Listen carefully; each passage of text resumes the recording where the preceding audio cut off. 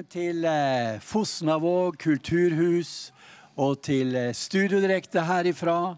Dette er den andre kvelden eh, eh, som vi sender fra sommerstevnet til misjonsbefalingen. Og her står jeg med en i lederskapet der, nemlig Reidar Thommessen. Og eh, det har jo vært en virkelig sterk start eh, på denne uken.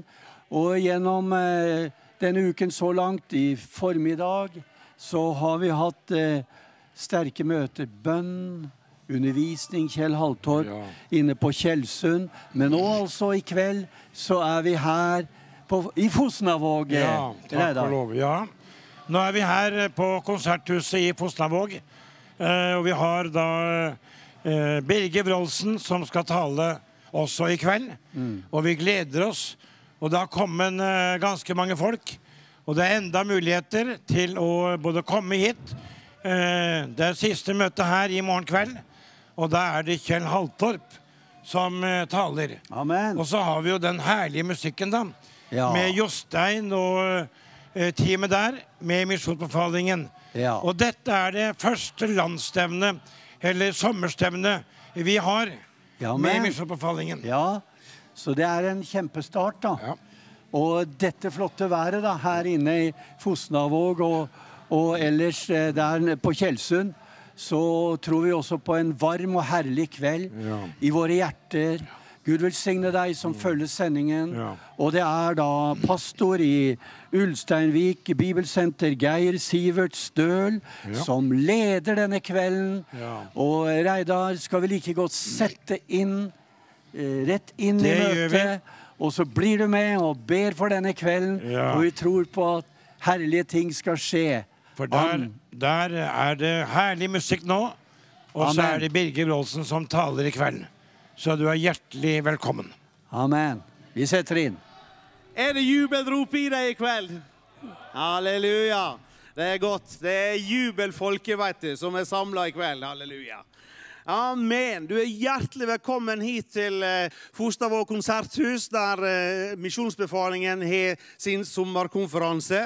Vi holder jo til på Tjeldsund egentlig, men eh, det er jo kveldsmøter de kjører vi her i går og i dag og i morgen kveld. Så det er hjertelig velkommen, du som er i salen, og du som i, eh, sitter bak eh, TV-skjermene. Vi ønsker eh, Visjon Norge hjertelig velkommen her, med alle seerne som ser på over hele det ganske land.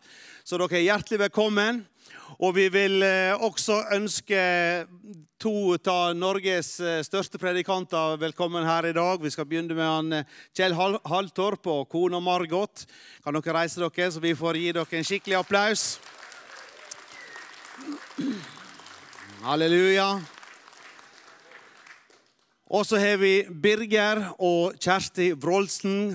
Det er dagens taler. Bare reis dere, så vi får ønske dere hjertelig velkommen her i dag. Halleluja. Amen. Sunnmøre viser jo seg fra sin beste side, så det er vi så veldig glad for. Det er ikke nødvendigvis dette været vi har hele tida, men eh, Gud har velsigna oss denne veka her med et fantastisk vær. Halleluja. Amen. Eh, vi Eh, Vi fryder oss virkelig over å ha denne konferansen her. Det er jo ikke vanlig å ha en konferanse på Sunnmøre på denne tida her, på en måte. Og eh, vi kjenner det at det er Gud han er ute og går. eh, Det, ting skjer. Vi hører om vitnesbyrd, og vi hører at det, folk får møte Gud. Og eh, det er herlig å få komme sammen og prise kongen og ære han som sitter på trona. Halleluja. Og det, vi er så glad for at det er Jesus som sitter på trona. At det er han som sitter på trona. Halleluja. Min bibel sier at han ler til de kommende tider. Og hvis han ler til de kommende tider, så skal jeg og du også le. Halleluja. Amen. Det fins ingen grunn til mismot. Det er en gammel sang som heter. Og eh, jeg tror vi skal være der. Og derfor skal vi nå fryde oss sammen her i kveld og se hva Gud vil gjøre. Vi gleder oss til ordet som skal gå ut. Vi gleder oss til lovsangen. Og vet du hva? Du trenger ikke å vente til ettermøtet for å bli møtt av Gud. Kanskje du sitter her og allerede Gud Gud har møtt deg. Halleluja. Gud kan møte deg i lovsangen der du sitter her nå på møte, og hjemme i stua der du er, må, måtte være hjemme, så kan Gud møte deg. Fordi at det vi har med en levende Gud å gjøre, en Gud som lever, en som, Gud som regjerer, og en Gud som bryr seg om mennesket. For så høyt har Gud elsket verden, at han ga sin sønn den enbårne, for at verden som tror på ham, ikke skal gå fortapt, men ha evig liv. Derfor så er vi frelst. Derfor har Gud grepet inn i historien. Så derfor så, himmelske Far, vi bare legger dette møtet her i dine hender. Og vi bare priser deg, Herre, for at det, du lytter til våre bønner. Og ikke bare lytter, men du svarer også. Og ta imot vår lovsang nå når vi skal gå inn i lovsang og tilbedelse til deg. La det få lov å stige fram som en velduft innenfor din trone i Jesu navn. Jostein, vær så god. Led oss inn for Guds trone i lovsang. Halleluja. Halleluja. Fantastisk sang. Veldig bra sang. Det der må vi få tekster på. Så vi får synge den hjemme i vår egen menighet. Veldig, fin sang. Halleluja. Amen. Det er godt å prise Herren. Det er det. Det er fantastisk å kunne få lov å være med på å prise Han som er kongenes konge og herrenes herre. Halleluja. Vi skal ta noen praktiske opplysninger her før vi går videre i møtet. Bare helt sånn kjapt. Eh, det er bønnemøte på eh, Tjeldsund. Eh, vi holder jo til på Tjeldsund gjesteivri og leirsted, som dere vet. Og Der er det klokka ti hver morgen, så er det bønnemøte. Så har vi møte i morgen klokka tolv på Tjeldsund. Da er det Birger Wroldsen som taler. Og så er vi lørdag i morgen kveld 19.30, så det er møte her på Fosnavåg konserthus. Og da er det Kjell Haltorp som taler. Og søndag klokka tolv så er det siste møte i høytiden. Da er det på Tjeldsund med Mangor Ånesen som taler. Halleluja. Amen. Ja, det er verdt en applaus. Halleluja. Så eh, da veit du det. Da veit du hva du skal gjøre resten av denne helga. For vi har sett av disse dagene til å være i sammen. Og så tenker jeg, som også jeg sa her tidligere, vi satt og snakka rundt kaffebordet, at jeg er litt sånn spent på videre med, med, med altså hva som skjer utover høsten. For vi kjenner det at det i åndens atmosfære så koker det, og det syder, og noe er på ferde. Og jeg har lyst til å være med på det som Gud gjør. Halleluja. Jeg husker han Ronald Gundersen for mange år siden. Han brukte å be den bønnen at det, Gud, hvis det du skal gjøre noe i dette landet her hvis Du skal gjøre noe, du får ikke lov å gjøre noe i Norge uten jeg får lov å være med på det. Og den bønna må vi gjøre til vår bønn, alle sammen. At vi får være med på det Gud gjør, for det er det som er et spennende liv. Jeg skjønner ikke hvordan det har seg at det er djevelen er greit å få det til at det er kjedelig å være kristen. Det er jo overhodet ikke kjedelig. Jeg husker etter da jeg ble frelst. Jeg var rasende på meg selv. Jeg var 25 år da jeg ble, ble, ble, frelst. Og jeg tenkte meg, du store tid, at jeg ikke ble frelst mens jeg gikk på gymnas. Å, du store tid. Jeg skulle ha herja med kommunistene. Jeg er eks-kommunist sjøl, bare så det er sagt, så jeg kan herje litt med sosialistene. Og jeg husker det at det Å, du store tid hvor jeg skulle herje med dem. Det har vært skikkelig gøy, altså. Men den tida så var jeg liksom raud på en annen måte, da. Men så ble jeg frelst, og da tenkte jeg at det, du store tid, 25 år er altfor lenge å vente til å bli frelst. Bli frelst så tidlig som råd, så får du maksimalt ut av livet. Halleluja. Amen. Amen. Jostein, du har noen eh, sanger som du vil, eller sangere som du vil presentere. og Det gjør jo du mye bedre enn meg, så uh, vær så god, Jostein. Vi gleder oss til å høre hva du har på hjertet her med band og sangere og solister. Jeg vet ikke hva det er alt. Vær så god. Mangor, han har en sang. I familien til Mangor så er det veldig mange Altså Mangor og Aansen på stilgitar og sologitar borte veldig mange i hans familie som synger og spiller, og det er liksom et sånt oppkomme. Så når jeg var liten gutt med pannelugg og kjøpte kassetter Da hadde vi kassetter av Synne Vånensen.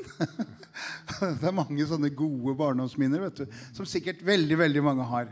Og Mangor han eh, så jeg ikke eh, med, pannelugg, holdt jeg på å si. Vi er gode venner, jeg og Mangor her. sånn. Mangoer Mangor han, han, synger en sang som heter at 'Det er nåde over nåde'. Mangor, kan du ikke starte å synge den sangen? der? Jeg vil også si at jeg er veldig glad for at jeg er frelst. Eh, jeg var så heldig å få lov å jobbe på Evangeliesenteret i mange år, og jeg jobba på inntakssenteret. Så mennesker kom inn der i den uh, fasen de var i. Mange var jo i aktiv rus. Og jeg fikk et førstehjelpskurs, og det gjorde så godt, både åndelig og menneskelig. For Jesus viste meg noe helt konkret gjennom det førstehjelpskurset. Det, sikkert, det sitter sikkert helsepersonell her også. Men i hvert fall så fikk jeg jo oppleve å komme inn i en situasjon der en beboer fikk et alkoholdelirium som falt om. Og han fikk jo såkalte kramper. Og jeg følte jo at jeg kom jo veldig til kort, for jeg hadde jo ikke den kompetansen, følte jeg, da, som skulle til for å redde det mennesket som lå foran meg. Så jeg ringte nødnummeret. Og der tok jo noen telefonen en gang. Og hun kunne geleide meg hvordan jeg skulle oppføre meg og håndtere den personen foran meg. Eh, og jeg måtte jo ta til med livredning. Og da måtte jeg ned på kne, faktisk, for jeg kunne ikke stå ved siden av det mennesket og utføre førstehjelp. Og jeg hadde jo full tillit til det mennesket i andre enden, at den personen der, hun veit hva hun driver med. Og så hørte jeg henne sa, bare fortsett med det du gjør, for hjelpen er underveis. Og når jeg kom hjem den natta, så fikk jeg et bibelvers som står i Salme 91. Han skal gi sine engler befaling om deg. Og da viste Jesus meg viktigheten av å gå inn i bønn for mennesker. Du får nød for mennesker. Vi har et flott helsevesen i Norge som vi benytter oss av, og som gjør en fantastisk jobb. Og vi ser hva slags ressurser som settes i gang når vi ringer nødnummeret. Og de sender ut enten brann, politi, leger, helikopter, hva det nå enn måtte være, for å redde et liv. Og da tenkte jeg, hvor mye større er ikke Jesus? Når vi går ned på kne for han, og så forteller vi, Herre, det er et menneske som er i nød. Du må komme oss til hjelp. Og da sier han, som den dama, men han har jo all makt i himmel og på jord, så han kan jo si det. Hjelpen er underveis. Så jeg har lyst til å si til deg som ber for noen som du har nød for, eller noen du er glad i, fortsett med det du gjør til hjelpen kommer. I Jesu navn. Amen. Peggy, før du synger en sang, gi mikrofonen til mannen din her. Før du synger. Sven Olav og jeg vi er barndomskamerater. Sven Olav fikk oppleve Jesus. Hør hva som skjedde med han. ja. her må man være klar i tide og utide. Nei um, Når jeg ser på Kjell her, så blir jo historia ganske greit, for da kan jeg starte der. Neida, jeg, jeg er oppvokst i en kristen menighet sammen med Jostein i Askim-Mysen-traktene når vi var små, og jeg fikk lov å oppleve Jesus veldig sterkt egentlig når jeg var ung gutt. Men så, som mange andre kanskje, så fikk djevelen tak i livet mitt, og jeg havna veldig ut på skråplanet. Det gikk veldig gærent. Og rota meg bort i masse rus og kriminalitet, og det var vel en måte å på en måte jeg var liksom ikke redd for noe, så, liksom, så, da brukte jeg det for hva det var verdt. Og da fikk jeg liksom status i gjengen. Så ehm, Men en lang historie kort. Jeg, eh, I 95 så eh, kom jeg til meg sjøl, for det var faktisk det som skjedde. Jeg hadde rota bort alt jeg eide og hadde, nesten. Og bodde faktisk i en bod inni, hos en kamerat av meg. En innebod. Og så var jeg aleine en morgen. Dette her glemmer jeg aldri. Så plutselig så bare akkurat som jeg kom til meg sjøl. Jeg hadde rusa meg i månedsvis, i årevis, holdt jeg på å si, og bare surr. Så kom jeg, akkurat som jeg våkna opp, og så gikk jeg ut på verandaen. Og så tenkte jeg, Det var så rar eh, følelse. Og så bare fikk jeg det for meg at jeg skulle gå inn og finne Bibelen min. Den hadde jeg under madrassen. eh, og den hadde ligget der siden jeg var ung, ung gutt. Eh, Hvorfor jeg nevnte Kjell her, det, det, var jo nettopp fordi at jeg fikk lov å møte Jesus i Sarosdal da jeg var ung gutt. Og der husker jeg Kjell veldig. Og jeg husker Bjørn Bergman vet, med boka si. Og, og når ettermøtene kom der, da var det bare å gå fram. Altså. Og da ble du åndsdøpt både én og to og tre og fire ganger, som jeg sa til Kjell på, på formiddagen i dag.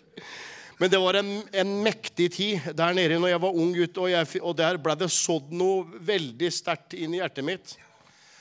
Og det var veldig brytninger på den. bare for å ta det På, på tidlig på, på slutten av 70- og 80-tallet så var det veldig brytninger. Arild Edvardsen, det var jo nesten så det var fra avgrunnen. Men det skal jeg love deg at det var det ikke. Det var, eh, det var felleskristelig, men det var liksom ikke Det var litt sånn, da. Men, men meg som ung gutt jeg hadde kjempesterke opplevelser med de møtene der nede. Men nå skal jeg ikke rote meg bort med det, men jeg hadde lyst til å bare si det.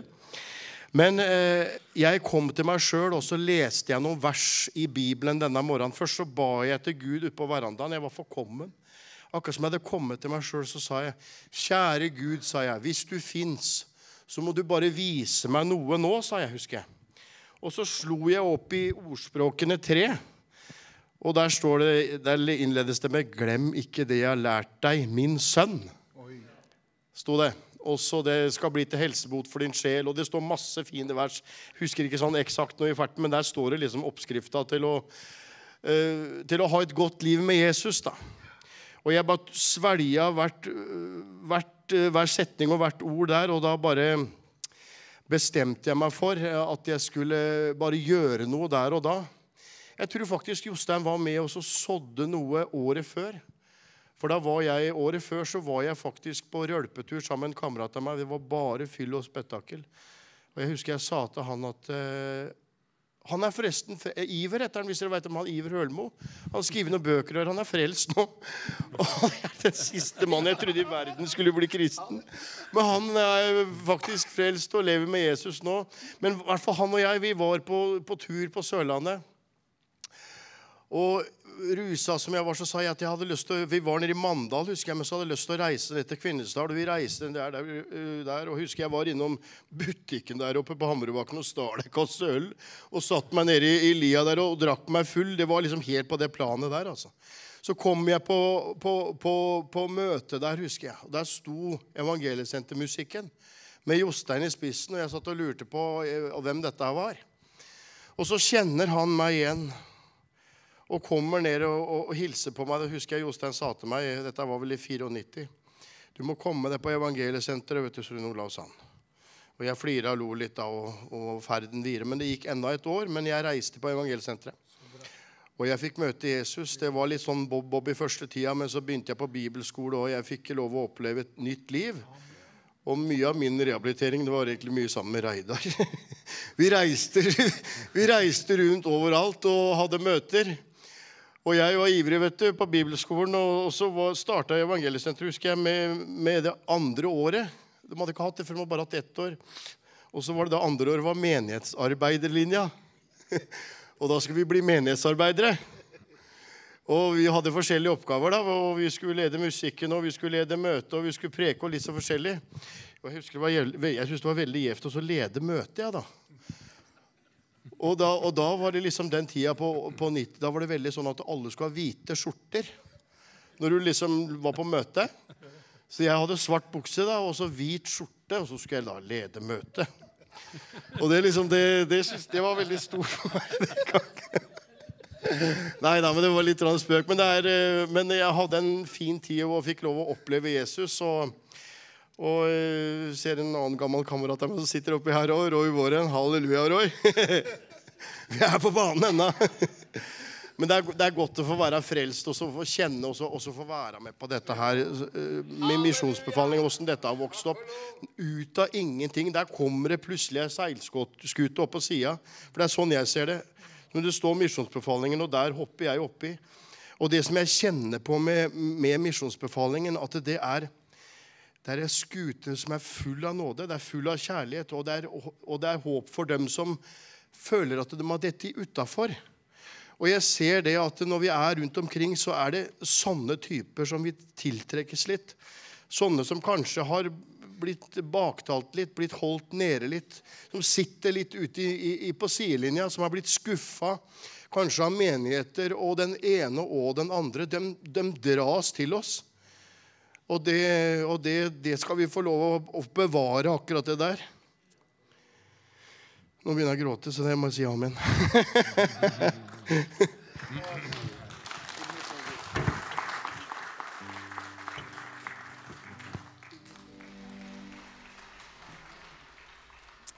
Halleluja. Det er herlig å ha sangkrefter som eh, kan formidle budskapet på en sånn fantastisk måte. Er ikke det vel? Ja, det er det. Det er virkelig bra. Halleluja. Du kjenner det du blir oppbygd både til ånd og sjel og alt som er. Halleluja. Vitnesbyrd, det liker vi. Og nå er det tid for et uh, intervju her. Det er jo han uh, Mangor som skal uh, stå for, i bresjen for. Så Mangor, du får komme og introdusere dine Har du mikrofon der, du, ja? Med deg? Ja. Skal vi ha Vi har en til her, da. Til, eller har du nok? Ja, dette er nummer seks, da. Ja. ja. ja.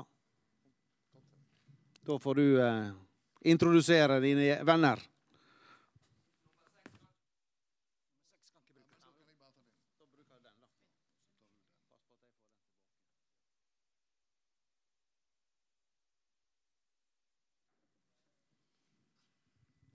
Amen og halleluja.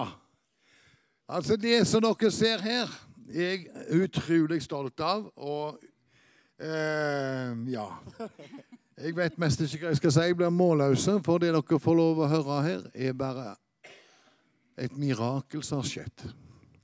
Og jeg tror altså Jeg begynner med Astrid. Hei, Astrid. Den må du snakke i, og så må du helle den helt nærme der. Hører dere den? Enda nærmere. Sånn. Hører dere nå? Gjerne ikke på. Vi se. Jo da. Han står mute. Uff. Uff a meg, står det.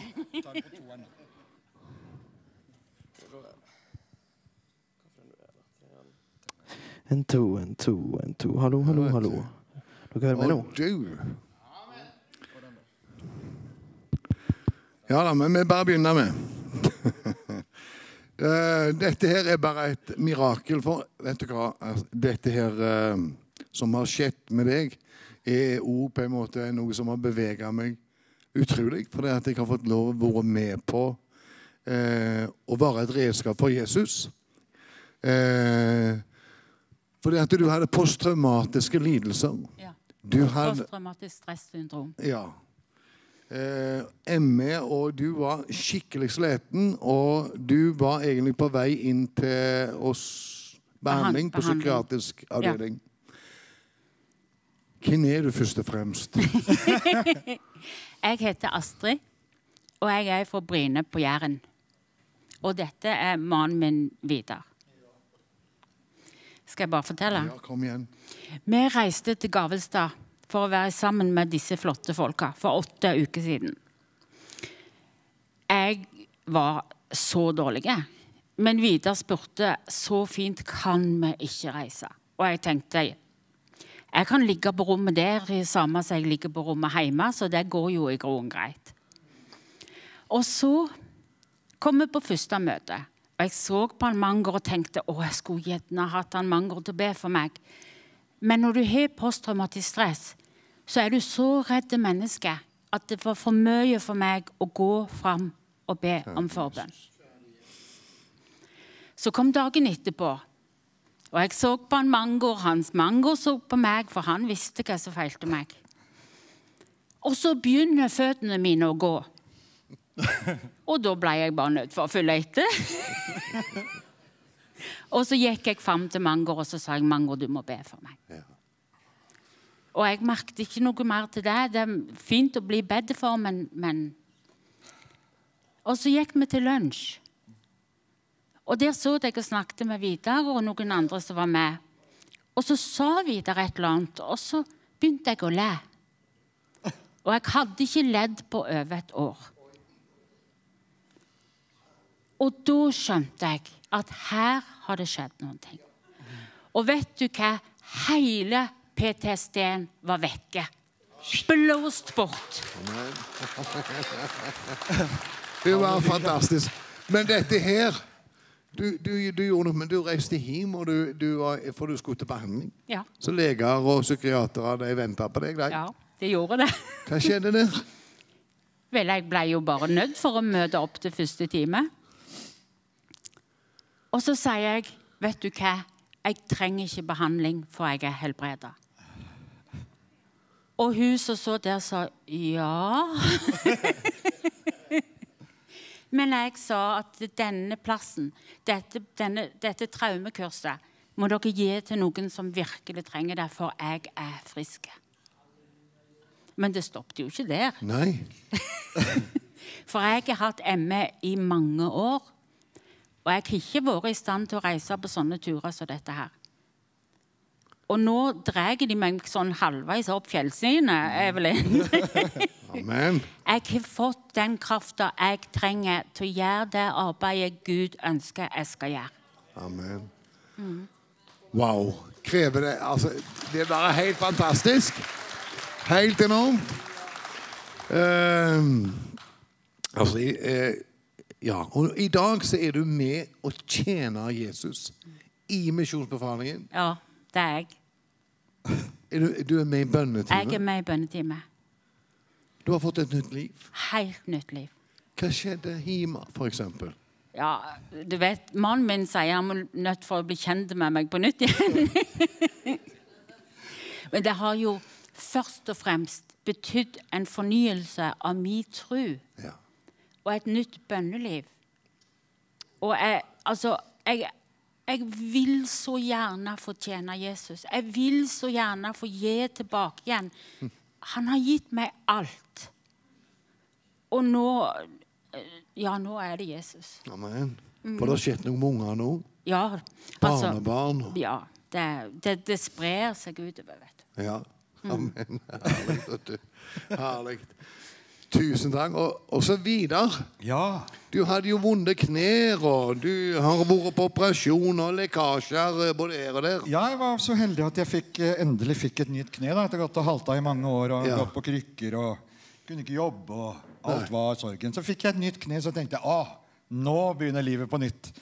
Men så var jeg ikke helt heldig, da. Så jeg fikk eh, litt lekkasje og noen leddvæske som rant ned bak i leggen. Sånn at når jeg gikk, så knakk det sånn inni Ikke i leddet, men inni leggen. Sånn at det det det var masse forsøk og hei og hå, vet du. Og ta ultralyd og bilder og alt mulig rart. Så dagen etter, da, som hun fikk liksom kvitt den PTSD-en, så tenkte jeg jeg må jo gå fram, jeg òg. Det er jo håp for alt mulig her. Men så hadde det seg sånn at vi, vi tenkte at vi skulle Eller de sa det at vi får be litt i benkene, for det var mange som la liksom Skjønte jo hva som har skjedd med Astrid, så det var mange som kom fram med alle de her gamle tinga de sleit med òg, sånn at det blei liksom nesten kø og greier. Så jeg tenkte at når han sa til de benkeradene, så kan du bare holde på der hvor det gjør vondt. Så jeg holdt på der hvor det gjør vondt, jeg, og så kjente ikke noe, jeg heller. Akkurat som hun. Kjente ikke en døyt. Og så når jeg skulle fram, så tenkte jeg nei, jeg skal ikke fram. Så jeg måtte jo ut da etter møtet og så hoppe litt og danse litt. Og hun lurte på hva det feilte meg. Så og skvatt nedi bak, bak hjørnet, liksom. For jeg måtte jo teste om det stemte, dette her. da. Ja. Så plutselig så var det òg i orden, vet du. Amen. Så han serva oss veldig stort den helga der. Ja. Og så når vi nå kommer hit, så fortsetter det liksom. Det, det, Amen. Jeg pleier å si at nå er vi Jeg har vel aldri grenet så mye antagelig siden jeg ble født, som jeg har gjort disse, disse dagene her. Man, Men like tørst som Jostein, men jeg får en fylle på for tårene liksom bare renner ut. Ja, ja. Og det er ene alene fordi jeg er så takknemlig for det Gud har gjort for oss. Takk, Jesus. altså. Vi har liksom Takk og lov. Vi har fått et, et liv som vi har, vi har antagelig ikke våget å drømme stort nok. Vet du. Gud har større planer og, og, og ting. Så nå er vi her, da. To klare, bankende hjerter og fire klare, rene hender som er villige til å gå, og føtter som virker. og liksom... Så nå er vi veldig spent, da. Amen. Vi har liksom aldri vært i den posisjonen. Vi har drømt om han og håpet på han. Og, så. Og nå er han her. Ja. Jeg vet ikke hvor det ender, men det ender hjemme hos Jesus. Hvertfall. Amen, amen, amen. Så dette blir stort. Fantastisk. Tusen takk skal dere ha for vitnesbyrdet deres. Amen. Gi dem en god applaus. Takk, takk. Og det bare viser at Jesus han er i går i dag den samme ja til evig tid. Og han ønsker at vi skal komme i funksjon med våre I våre Amen. Og i det, du begynner å gå, og i det du begynner å våge å gå i de ting som Gud har lagt framfor deg, så vil du oppleve, du vil oppleve at ting, mirakler skjer, som du ser her. Det er veldig trosstyrkende for meg å oppleve det som skjedde med Vidar Astrid. Og det er flere med. Og det er bare på grunn av at jeg har vært lydige og våget å gå. Og det gjelder deg òg. Begynt å gå. Gud ønsker å bruke deg. Du er et redskap for Jesus i denne tida. Amen. Jesus. Ja. Bare stå her, du. Vi skal, eh, Jeg fikk et kunnskapsord nå hvor bror sto frem her. Det er jo en skikkelig festaften, dette her. Det er så bra. Men dette er et alvorlig kunnskapsord. Det er en ung mann på 17 år som har slått på TV i kveld, som har hatt det veldig vanskelig og går med selvmordstanker. Og Guds kjærlighet går ut til deg. Han har en god plan for ditt liv. Åpne hjertet ditt for Jesus der du nå er i stua, og nå skal vi be for deg i Jesu navn. Herre, du har omsorg for den ene, og du ser denne 17 år gamle gutten, Herre. Takk at du kommer med din kjærlighet, så han får oppleve deg og bli født på ny, og oppleve at det er fremtid og håp. Jeg ber om det, far. Og vi ber også samtidig om en ungdomsvekkelse og barnevekkelse over hele vår nasjon, Herre, i Jesu Kristi navn. Takk, far, for du hører vår bønn. Amen. Amen. Det er bra, det, unge mann. Amen. Disse to gutta her er knoll og tott, men det var i slutten av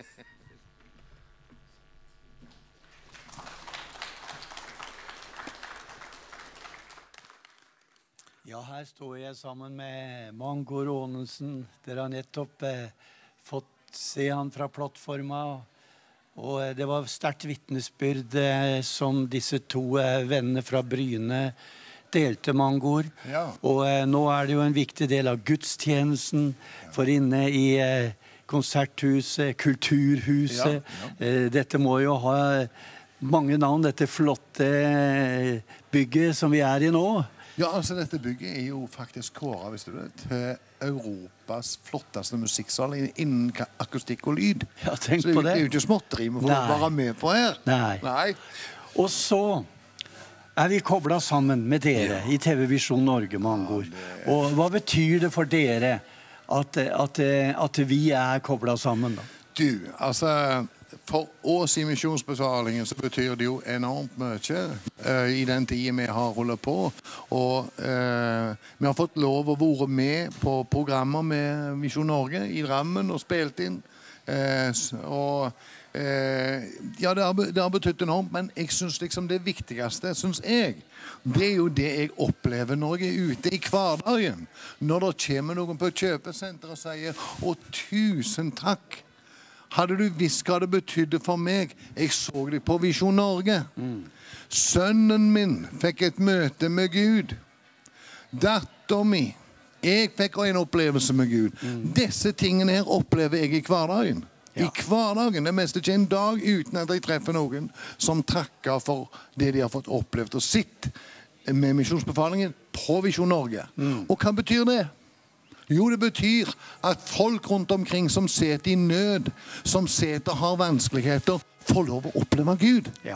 Og det er det det dreier seg om. Ikke om meg eller misjonsbefalingen eller den ene eller andre, men mennesker der ute Amen. som får lov å bli født på ny. Amen. Ja, På grunn av Visjon Norge, Ja. som i dag sender, da heldigvis for oss, ifra Misjonsbefalingens Ja. sitt landsstevne her, da.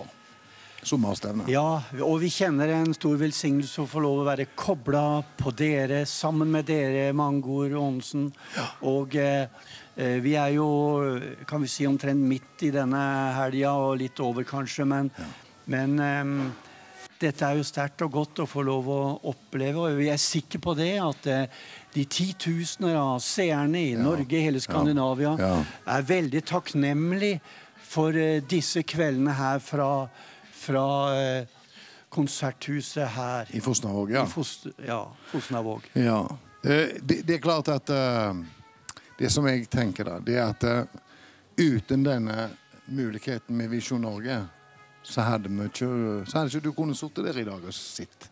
Nei. Det er jo det som er sannheten. Og for å drive dette arbeidet Jeg ble sjokka jeg, når jeg var inne og besøkte dere vet du, og så på de lokalitetene. Alle folk i arbeid. Og det opp apparatet. Så sier jeg til Jan at jeg skjønner ikke at du får sove om natten. Men jeg gjør ikke det alltid heller, sa han. Nei. Nei. For det er klart det krever jo enormt ressurser for å få dette til å gå rundt. Ja. Og jeg blir litt lei meg når, når, når liksom det blir så mye sånn eh, Hva skal jeg si Fokus på feil ting. Mm. Vi må ha fokus på at Guds arbeid må fram. Og for at Guds arbeid skal fram, så krever det kapital. Det går ikke av seg sjøl. Nei. Nei. Bilen min går iallfall ikke helt eh, Altså, jeg må ha diesel. Ja. Og her så er det et ganske stort eh, crew Ja. fra Visjon Norge som sørger for disse sendingene disse kveldene. Ja. Vi har to av våre eh, busser. Volkswagen-busser. Ja. Og eh, vi er jo så takknemlige, og de opplever også velsignelsen av å være her. Ja. Og eh, jeg bare kjenner det, at jeg har lyst til å dele et ord med deg som du finner, og som vi finner i Predikerne 11, 1 og 2. Og der sier eh, Salmo, send ditt brød på vannet, for i tidens løp skal du finne det igjen. Del ut til syv, ja til åtte, for du vet ikke hvilke ulykker som kan hende på jorden. Eller en annen oversettelse sier det slik, for du vet ikke hva ondt som kan hende på jorden. Så takk for at du står med. Takk for at du i kveld gjør uttrykk for at du setter pris på disse sendingene fra Fosnavåg. Og eh, du kan bruke vips tjenesten Den kommer opp på skjermen. Eh, 22 10 10.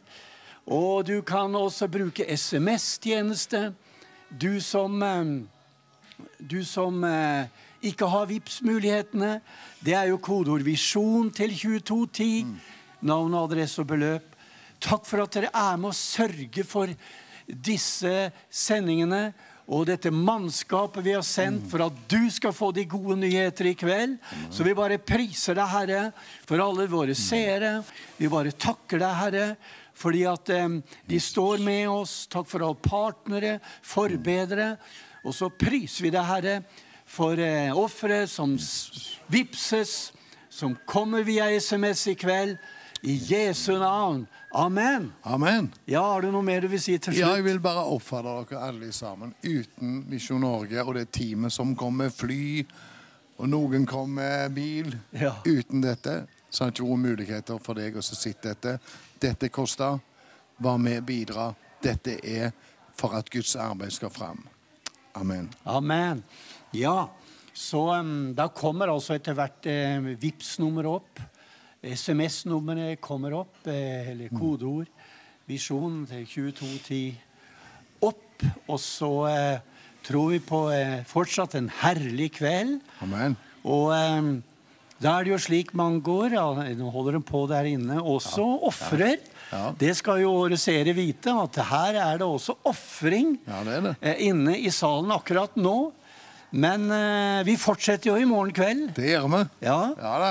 Og da er du som bor i området eh, til å kunne komme hit. Velkommen. Det er Ja. plass til deg også. Her i Fosnavåg konserthus i morgen kveld klokken 19.30. Og um, vi tror på en sterk siste kveld her Ja, ja, fra Fosnavåg. Jeg må si det er første gangen jeg er her, uh, Mangor. Og det er jo flott å være sammen med alle disse menneskene her Amen. som er dedikert til Herren og Guds rike. Så vi bare er så takknemlige for å være kobla sammen med dere. Oi. Halleluja. Tusen takk. Um, det skjer enda ting der inne som Ja. gjør at vi kan bruke litt mer tid, Mango. Ja. Em, for dere er jo på farta. Dere Ja, skal ja, eh, vi er på farten hele veien, vet du. Ja. Reidar Ivrige. Ja. Han eh, skjønner Jeg tror ikke han har mer blekk igjen i blyanten, holdt jeg på å si, i gulepennen. Nei. For han har ført ut hele dette året og langt ut i neste år. Ja. Eh, Så følg med dere som, eh, som følger Misjonsbefalingen. Eh, Gå inn på sidene våre eller whatever eh, på Facebook og rundt om. Der står møtene våre hvor vi er til hver tid. Men vi skal jo være sammen mye med Visjon Norge på flere ting. Ja, det er jo slik at dere også skal opp til Hallingskarvet i, i september, er det vel? Stemmer det? Fjellsang. Fjellsang Det i begynnelsen ja. av eh, september, så du må bare ringe dit for å være med på fjellsang. Det er jo flott eh, tid på fjellet når vi kommer til september. Nå Ja, ja, også. ja, Ja, hele året sikkert, Ja. egentlig. Men eh, det er fint å høre at dere er og skal være på farta gjennom denne, denne høsten, Ja, ja. eh, Ja, det vet du, og beitostøl vet du etter der igjen, ute i oktober er vel det. Ja. Uh, så det er noe hele veien. Ja. Vi er overalt. Så det er så flott, du vet du. ja, det er herlig.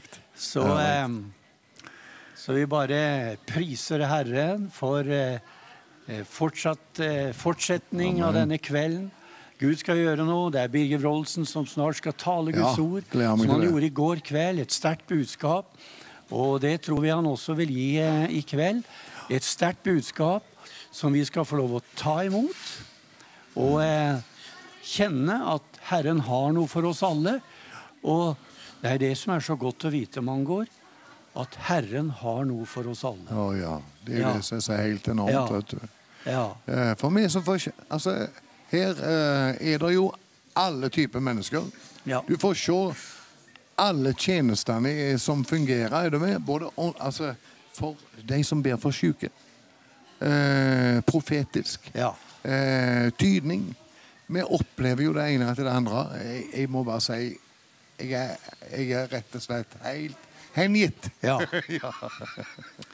Helt til slutt, da, før eh, For dette handler jo egentlig om offeret i kveld, som folk kan bare forberede seg på. Mm. Det kan allerede gi på Vipsen til 22 10 10 og, og eh, SMS-en, kodeord 'visjon' til 22 10 navn og adresse, beløp. Det kan jeg allerede begynne med. Men eh, Mangor, eh, jeg har eh, muligens tid til å spørre deg om hvordan var det dette starta? Visjonsbefalingen. Wow. Det hele starta for eh, 13-14 år siden, noe sånt. mm. Hjemme på Åkra, der jeg eh, fikk eh, eh, en visjon, en drøm, eh, fra Gud. Og det var om å starte en organisasjon eh, som skulle være med og, og hjelpe andre til istandsettes for tjeneste for Gud eh, på alle måter. Både innland og utland. Dette delte jeg da i den tid med Frank Henning Holm. Eh, og jeg husker vi satt og snakket på kjøkkenet, og jeg var ordentlig grepen av Mm. Gud. Og, og det, det var han òg. Ja. Og sa at dette er guddommelig, dette må du ta videre. husker jeg han sa. Og så gikk det noen år, og så treffer jeg noe, så har han fått det samme profetisk i ord fra USA. Nesten ordrett på det som jeg fikk fra Gud da, Ja. 12-13 år siden. Og så begynte ting å skje. Ja. Ja. Så, eh, så spennende også. Så vi bare priser deg, Herre, for at du skal Mm. legge til rette for misjonsbefalingen. Og du skal gi eh, de medarbeidere som de trenger, Herre. Det bare priser jeg deg for. Mm. Og så um, takker jeg deg, Herre, for alle, alle som følger sendingen. Og vi bare never din velsignelse over dem. Så nå kan du være med. Du som ennå ikke har fått eh, gjort eh, gudstjenesten i dette møtet i forhold til å ofre, så eh, vipser du eller bruker SMS, og så går vi etter hvert inn i møtet igjen her i kveld. Amen. Halleluja. Kjekt å være her i Fosnavåg sammen med Misjonsbefalingen. I dag har meg og Kjersti blitt medlem i Misjonsbefalingen. Halleluja! Ja da. Vips, så var det gjort. Sånn. Det gikk på en vips. Og så var vi medlemmer. Tenk, Jeg har prekt om Misjonsbefalingen i alle år, og plutselig så er vi blitt medlemmer. Eh, og og det, er, det er utrolig sterkt. Og så kjenner vi glede ved det. Å få være med, bare en liten del. Og det kan alle sammen være. Og er du på TV og følger med, så går du inn på misjonsbefalingen.no, .no, og så kan du se og lese.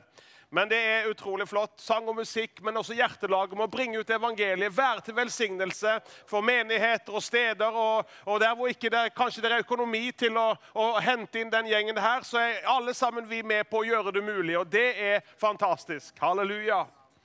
Og så Nydelig å være her på denne delen av landet. Fantastisk nydelig. Det jo, må jo være indrefileten. Herren har jo bare virkelig satt eh, lyskasteren på denne nydelige delen. Sunnmøre og ja, Fosnavåg og Tjeldsund og Ulsteinvik og alle. De løper jo fryktelig fort her. Eh, så det må være et eller annet her som eh, disse bratte fjellbakkene her som gjør det mulig å springe så fort som han gjorde. Halleluja. Men Jesus er her i kveld. Vet du hva, vi er, vi er på en reise alle sammen, og den reisa vi har her nede, den er midlertidig. Eh, det er veldig fort for oss at vi blir midlertidige mot måten vi opplever ting på. Men da er det godt å kunne se at alt har et større perspektiv. Vi lever ikke for det midlertidige, men vi lever for det evige. En dag så fikk vi bekjenne Jesus som vår frelser og herre. Og da skjedde det største miraklet som kan skje, nemlig vi ble Guds barn. Og det er det største du kan bli i Guds rike. Det er et barn av Gud. Halleluja. Og det er vårt, Tenk det å få lov til å bare vite det at du har fred med Gud. Fred med Han som har skapt himmelen og jorden.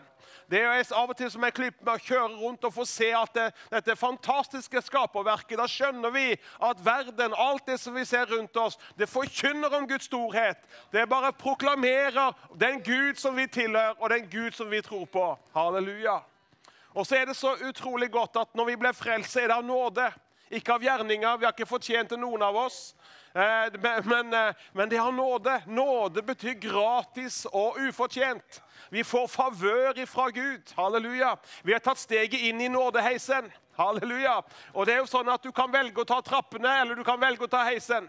Men om det er en, etasje, om det, om det er en blokk på 5000 etasjer, så skal jeg love deg du får problemer på et eller annet punkt i den trappa der. Men du vet at går du inn i heisen, trykker på knappen, så løftes du opp. Halleluja. Uten svette, uten kav. Bare blir løfta opp i nye nivåer. Og det er nåde, folkens. Halleluja. Så tenk på det neste gang du tar heisen. For et år siden så uh, var jeg på en sykkeltur. Jeg prøver å skvise mest mulig ut av den sykkelturen fordi at uh, det var holdt jeg på å si, min lengste prekenforberedelse det jeg hadde på en sykkeltur fra Nordkapp til Lindesnes. Ca. 285 mil på sykkel. Og det var en hard påkjenning for en pastorkropp. Uh, det, det, som var litt greia, var at jeg hadde jo sagt ja til å tale på stevne på lista hos Kjell Haltorp. og jeg måtte jo rekke det møtet. Jeg skal, alltid, skal jo alltid rekke et møte. Ikke sant?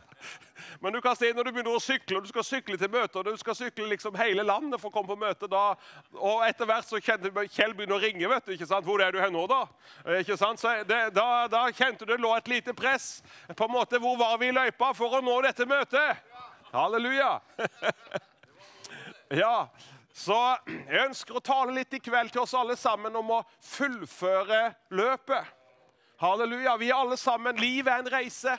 Livet her nede er en reise. Og, og, det å få lov til å være på vandring og det å være i bevegelse, det å være i progresjon og Vi er veldig forskjellige. og Jeg er også sykepleier, jobber med rusmisbrukere og, og kjenner at hjertet mitt det, er, det går ut til mennesker. Ikke sant? For vi, vi er så forskjellige. Noen er, har hatt nåden og, og gleden av å vokse opp i et godt hjem, men det har ikke alle gjort. Ikke sant? Det, mange har vokst opp med mye smerte og mye forferdelig egentlig når du hører menneskers historie. Og jeg sitter ofte og spør hvordan har du hatt i oppveksten, og tårene mine renner fordi mennesker har hatt en dårlig start på sin reise. Men så er det godt å vite i kveld at det er ikke starten som er avgjørende. Nei, men det er avslutningen. Halleluja. Det er det som er det avgjørende. Vi kan ha hatt en forskjellig start. Det er ikke sånn at på et maratonløp så står det folk etter én kilometer og hei, liksom roper 'du er best', liksom. Nei da, i starten så kan det være noen som løper veldig fort, men det er ikke sikkert de som løper fort på slutten. Men denne reisen som vi er på, så har Gud gitt oss en reisefølge. Halleluja. Han har gitt oss en reiseveileder. Han har gitt oss en som har lov til å være med oss alle dager inntil verdens ende. Og etter hvert som jeg fikk sykle sammen med guttene mine, og når vi kom til Levanger, så var kona mi også, og minstegutten med, og, fikk, og de sykla jo 109 mil, de òg. Det er jo et stykke, det òg, må man jo si. og du kan si det at eh, man fikk lov til å, å sykle og, og, be og takke Gud for alle kirker og bedehuser og, og, over hele landet. Bare en liten reklame. Om 14 dager, altså den 20. august klokken 18.00, så kommer det et TV-program på Visjon Norge om denne sykkelturen. Ja, Så da må dere følge med. Alf Henning Fredstad han har satt sammen alle disse videoklippene mine og intervjuene med både Håkon Fagervik og Alf Magnus og mange som vi traff. Og Det ble, ble en veldig variert og flott program som kommer altså om 14 dager. Den 20. august klokken 18.00. Nå må dere se. Pastor på tur. Eh, og det, det, det, ble, det ble overraskende bra. Eh, det er ikke en skrekkfilm. Det er det Men jeg tror det skal bli til velsignelse og oppbyggelse. De har gjort det så flott. De er så flinke, Visjon Norge. Takk Gud for Visjon Norge. Og for dere som sitter hjemme, være takknemlig for at vi kan få lov til å ha denne kanalen som forkynner evangeliet 24-7 og deler ut de gode nyhetene.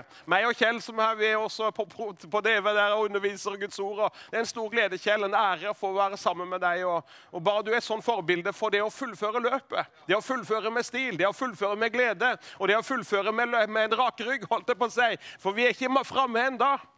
Men det som, eh, jeg skal gå rett til poenget mitt i dag, fordi at eh, det var noe som skjedde når vi sykla gjennom Norge. Så, så, eh, så, ble det sånn ikke sant? Du fikk oppleve den fantastiske naturen. og Det var mange fantastiske dager. Andre dager var tøffe, noen dager det var krevende. Noen dager hadde du lyst til å gi opp, og noen ganger så tenkte du at her var det nydelig, her vil jeg slå meg ned.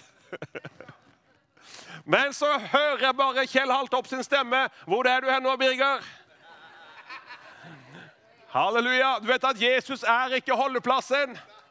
Han er veien, sannheten og Ja, så livet er en reise, vet du. Vi kan ikke slå oss til ro her nede.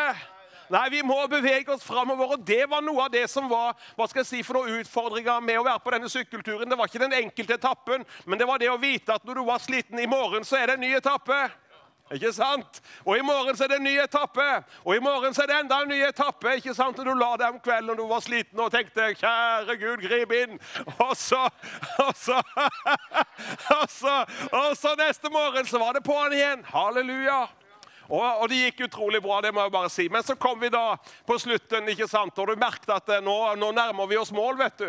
Men så hadde vi da den lengste etappen da, for min del. Jeg sykla fra Sandefjord til Grimstad, 18,5 mil på sykkel. Det er langt, med full oppakning.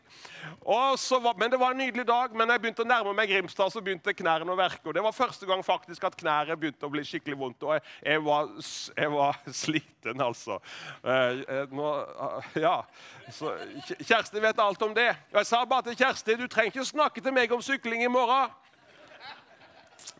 Jeg, nå, må jeg ha, nå må jeg hvile. Jeg kan ikke sykle i morgen. Og så jeg meg, fikk jeg mat, og vi bodde hos broren min i Grimstad der på Fevik. og De heia jo på, så jeg tenkte går dette? Det så, og jeg sykla. Det var smerter, det var vondt. Eh, og så fikk vi mat og en dusj og la meg i senga. Jeg tenkte dette, i morgen må jeg hvile. Men så våkna jeg om morgenen, folkens. Og da hørte bare en stemme. 'Birger, det er en etappe igjen.' Du kan ikke si du har sykla fra Nordkapp til Grimstad. Det er jo ingen som, det, liksom, det går bare ikke an. Ikke sant? Det kan ikke stoppe her, Birger. Du har én etappe igjen. Og så ble det så alvorlig for meg. Vi lever her på denne jorden. Vi har én etappe igjen, folkens. Jesus kommer snart tilbake igjen. Og det er ikke tid for å legge seg ned. Det er ikke tid for å gi opp. Det er ikke tid for å ta en pause. Nei, det er tid for å reise seg og fullføre det løpet som Gud har satt foran for oss alle sammen. Halleluja. Takk, Jesus. Da går vi til Hebrebrevet kapittel 12. Hebrebrevet kapittel 12. Halleluja. Takker deg, Jesus, for denne nydelige kvelden. Kom du, Herre, og velsign, Herre. Velsign de som lytter på i kveld, Herre. De som kanskje har gitt opp og sitter hjemme og tenker at eh, det ble for mye, det ble for meget, det ble for vanskelig. Livet ble for vanskelig å håndtere. Smertene ble for store. Spørsmålene ble for mange. Men i kveld så skal Jesus møte deg. I kveld skal han ved sin ånd komme og legge ned en kraft i deg til å reise deg igjen. Halleluja. Takk at du velsigner alle denne kvelden, Jesus, med nytt mot, nytt håp, Herre. Kjenn at vi løfter vårt indre, Herre. Du legger din salvelse og kraft over oss som ditt folk, Herre. Så vi kan reise oss ikke i mismod, ikke i kritikk, men vi reiser oss med hjertet fullt av tro. Halleluja. For du har ikke tenkt å etterlate oss faderløse denne siste etappen. Nei, du vil utøse av din ånd, Herre, over oss denne siste etappen, Herre. Du har en underbar, god avslutning for oss, Herre, og vi vil være med. Halleluja. Og du ser den som kanskje tenker at jeg klarer ikke mer. I kveld så kommer du, Herre, på samme måte som du kom til meg og oppmuntra meg og ga meg styrke, ga meg mot, ga meg ny kraft i mine føtter. Så kommer du til noen i kveld i sine stuer og sine hjem, og så bare gir du nytt mot og ny kraft, Herre, i Jesu Kristi navn. Herre, hjelp oss å åpne våre hjerter denne kvelden. Kom du, Hellige Ånd, og betjen oss på den måten som bare du kan. Du åpenbarer oss, du viser oss, Herre, og du åpenbarer Jesus for oss denne kvelden, Herre, i Jesu Kristi navn. Halleluja. Så la oss derfor, sier Bibelen her i vers 1, så la oss derfor, da vi har en så stor sky av vitner omkring oss, og Det har vært mye snakk om denne store skyen, men jeg tror det er mennesker som har gått foran oss. Det er mennesker som har stått løpet, mennesker som har gått gjennom ild og vann, som har prøvd, blitt prøvd på mange ulike måter, men som har fullført løpet. Halleluja. Og de står og heier på oss. Men så ser jeg også for meg mennesker i dag som eh, har levd med Gud, og som har gått foran, som er forbilder for oss. Og dere er forbilder for oss, Reidar, og mange her inne dere er forbilder for oss litt yngre forkynnere og mennesker. Vi kjenner at vi trenger å bare henge på dere. Halleluja. Vi lever i en spesiell tid, og vi har en stor sky av vitner omkring oss. Så, men så sier han, da vi da, har, da vi da har en så stor sky av vitner omkring oss, la oss legge av alt som tynger. Legge av alt som tynger, og synden som henger så fast ved oss. Og løpe med tålmodighet. Løpe med tålmodighet. Du ser livet her nede er ikke en, en spurt, det er ikke en 100 meter, det er ikke en 60 meter. Nei, det er et maraton. Det er et langløp, folkens. Og vi må løpe med tålmodighet. Halleluja. I den kampen, faktisk. Det beskrives som en kamp. I denne kampen vi har foran oss. Og jeg skal bare si litt, når Vi sykla starta på Nordkapp. Vi var entusiastiske og vi var fulle av tro og herlighet. og Baken var jo fin og god. vet du, ikke sant? Det var jo det var, det var null problem, liksom. Etter hvert som du, du trykka og satt på det sykkelsetet i én time og to timer og tre timer og fem timer og syv timer og åtte timer, så ble man øm i stumpen. Trenger ikke være rakettforsker for å skjønne det. Men du kan si hadde det bare vært en dag, men neste dag så skal du ta denne ømme stumpen og sykle videre. Og så videre, ikke sant? Og, og, så skjønte jeg jo det at denne sykkelen min jeg hadde jo pakka ikke sant? Jeg hadde jo pakka for, eh, for, for tid og evighet, liksom. Sykkelen knarka, knirka jo, og, og, det var jo heftige greier her. Og jeg skjønte jeg har pakka altfor mye. Og jeg vet ikke hvordan du ville pakke om du skulle svette hver eneste dag og sykle og være sliten, og, ha, og så skulle du være på tur da i en måned. Jeg vet ikke, Noen ville hatt med seg en svær tilhenger ikke sant, med alle mulige ting. Men jeg skjønte at det er ikke alt jeg trenger. Og Etter hvert så begynte jeg å legge av ting. Og det ble lettere. Og jeg må være ærlig med dere, jeg la av ting hele veien nesten. Jeg, kom, jeg, måtte legge av. Jeg skjønte at her er det for mye greier. Jeg hadde med meg en god venn og medforkynner i, i eh, Haugesund, Glenn Vik. og Han var jo med og sang litt der oppe i starten. for Vi hadde noen møter helt i starten. Ja, Finnmark ligger på hjertet, så Gud velsigne Finnmark. Gud velsigne alle som bor der oppe. Vekkelsen den kommer til Finnmark først. Vi har en enkel teologi at når Gud han slipper ilden, så treffer han eh, her oppe først. Ja da. Men det spiller ikke noen rolle, bare den kommer. Halleluja. Men det som skjedde var jo at jeg måtte legge av både klær Jeg, jo, jeg vet ikke hvor mange truser du ville pakke av vekk en måned. Nei, Man pakker jo en god del. Både T-skjorter og klær og kaldt vær og regnvær og solvær. Og, men det blir jo mye greier. Og, og, og, så husker jeg kom, Før sykkelturen så gikk jeg inn på disse sykkelbutikkene og sa jeg skulle sykle fra Nordkapp til Lindesnes. Og du så jo bare kassaapparatene klikka i øynene på dem. Han ene han sa jeg måtte ha tre kremer til rumpa. Hva, hva, sier, sa, hva sier, du? Sa jeg tre stykker? Tre ulike? Det går jo ikke an. Jeg kjøpte en og brukte den tre ganger. Bare for å sjekke åssen det var. Den kjølte ned stumpen. Nå ble det veldig personlig her, men det var sånn. Men, kan... men det var noe sånn det var. Ja. Og jeg skjønte at eh, etter hvert som jeg la av ting og jeg la av ting der og, og, og, og så, ikke bare det, vet du, men det som de, du merkte, de ble jo alvorlig bekymra når de så Birger komme der med den svære kroppen. Eh, ble, han ene ble skikkelig alvorlig. Han snakket om alt som kunne gå bra. Og Da måtte jeg bare minne han om én ting. Det kan gå bra. Hør her, min gode venn. sa. Det kan gå bra, dette. Ja, det kan gå bra. Og du vet at, eh, og det er noe med bekjennelsen vår. Noen har svart belte i bekymring. Men du vet at bekymringene de legger ikke en eneste dag til vår livslengde. Hva skal vi gjøre med bekymring? Jo, de kaster vi på Herren. Halleluja, for han har omsorg for oss. Halleluja. Og det er fantastisk å kaste bekymringene på Herren. Og Herren var med. Han har lovt å være med hver eneste dag. Herren er nær deg. Om dagen er grå, om dagen er vanskelig, om motbakkene er lange. Der er Gud. Rop på ham, kall på meg, sa han på nødens dag, og jeg vil svare deg. Halleluja. Og Det var så underbart å kjenne det her. og Bibelen sier at vi skal få lov til å løpe med tålmodighet. Løpe med tålmodighet. Jeg våkna på den morgenen i Grimstad. Birger, du har en etappe igjen. Det er en etappe igjen for mitt folk, sa Herren. Og det er viktig at du får reise deg, og du skal få gå i min kraft. Du skal få reise deg og gå i min kraft, sier Herren. Og det er et ord til vår nasjon i dag. Det er en etappe igjen. Det er ikke tiden for å sette seg ned, men tiden for å reise seg i ånden og bevege seg med den kraft som Gud gir. Og han har nåde nok for den siste etappen.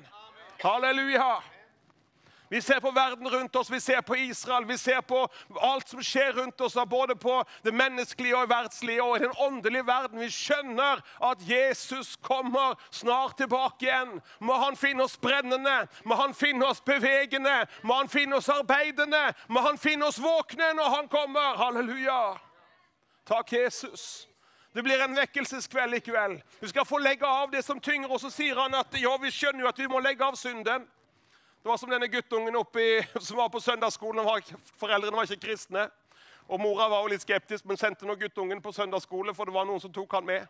Og Hver gang han kom hjem fra søndagsskolen, så spurte de hva han prekte om. og hva de snakket om på søndagsskolen. Og En dag så kom han tilbake fra søndagsskolen, og mora spurte hva prata de om på søndagsskolen i dag. Jo, de prata om synd, synden, sa guttungen. Mora ble litt alvorlig, og så spurte de guttungen hva sa de om synden. da? Nei, De likte han ikke noe særlig. Det var det han hadde fått med seg. De likte ikke den synden noe særlig. Synd er å bomme på målet. Ja, det er det det handler om. Og vet du at Jesus han døde for all verdens synd.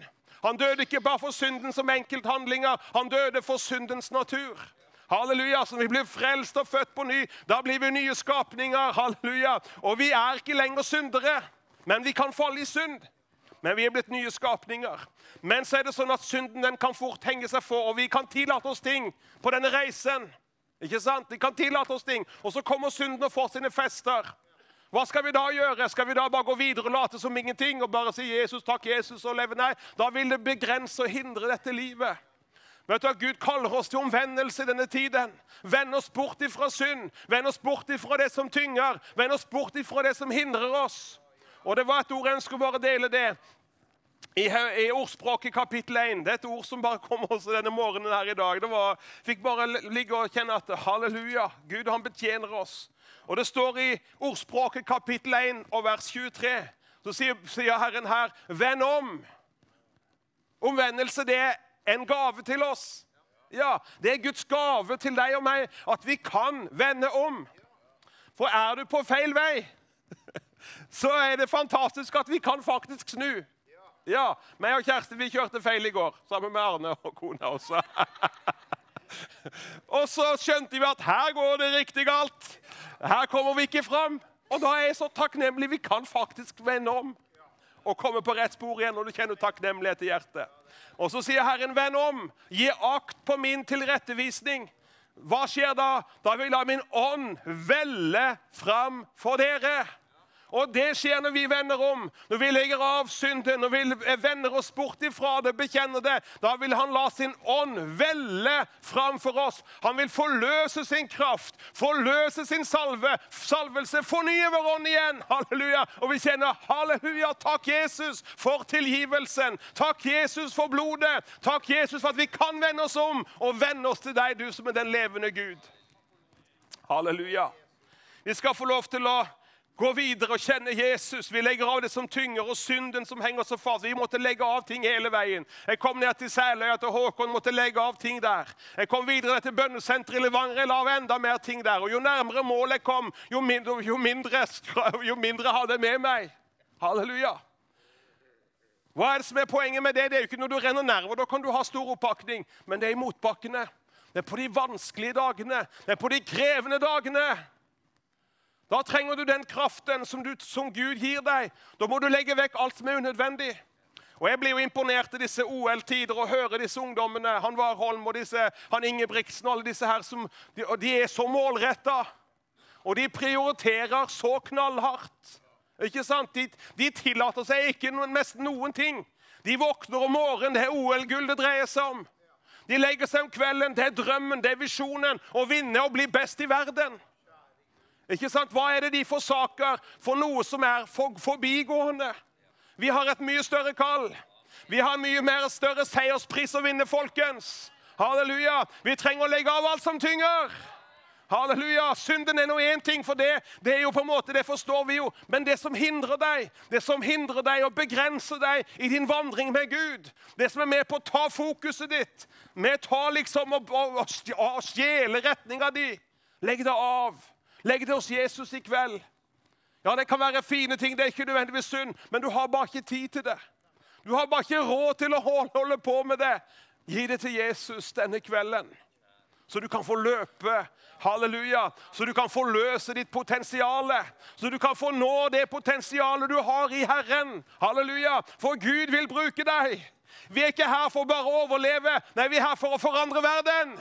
Halleluja! Vi skal utgjøre en forskjell der vi går, og vi trenger å fylles av Den hellige ånd og Guds kraft. Og nøkkelen her kommer for å bevare hjertet og bevare livet vårt, kommer her i vers 2.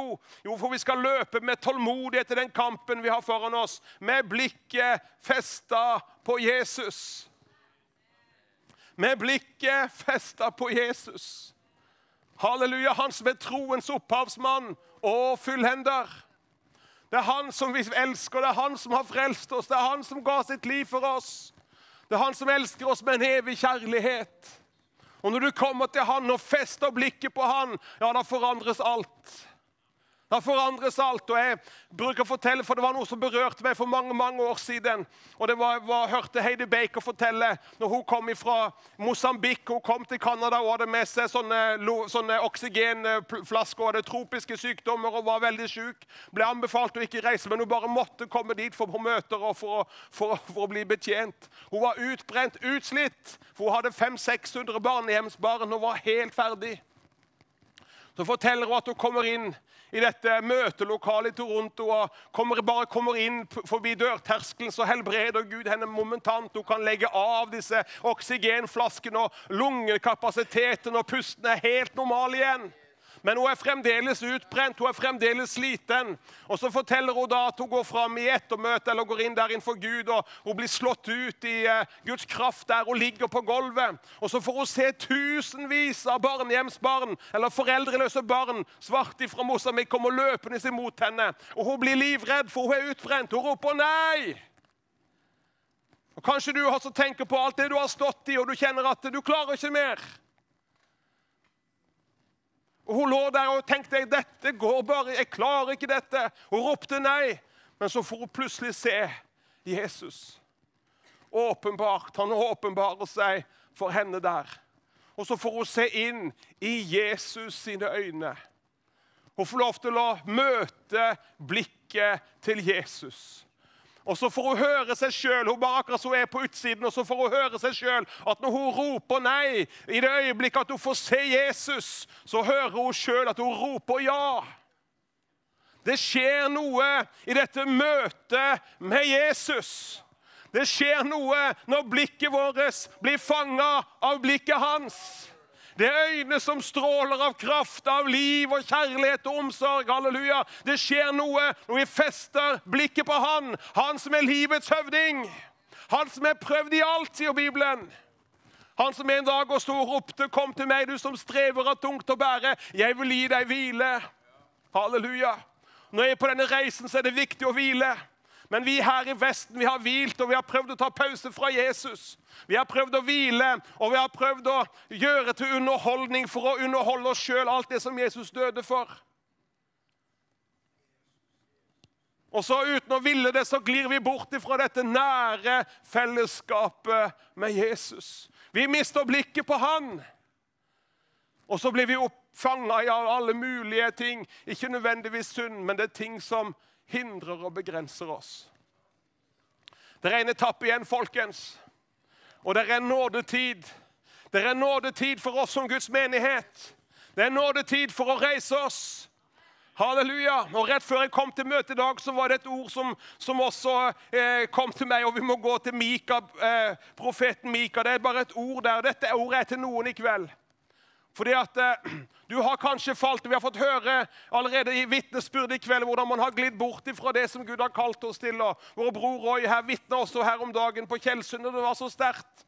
Fordi at vi kan falle som mennesker. Vi kan falle. Vi kan rote det til. Birger har rota det til. Og Sannsynligvis har du også rota det til. Og det at Vi skal heller ikke dømme de som faller på ulike vis, for du faller der du kommer ifra.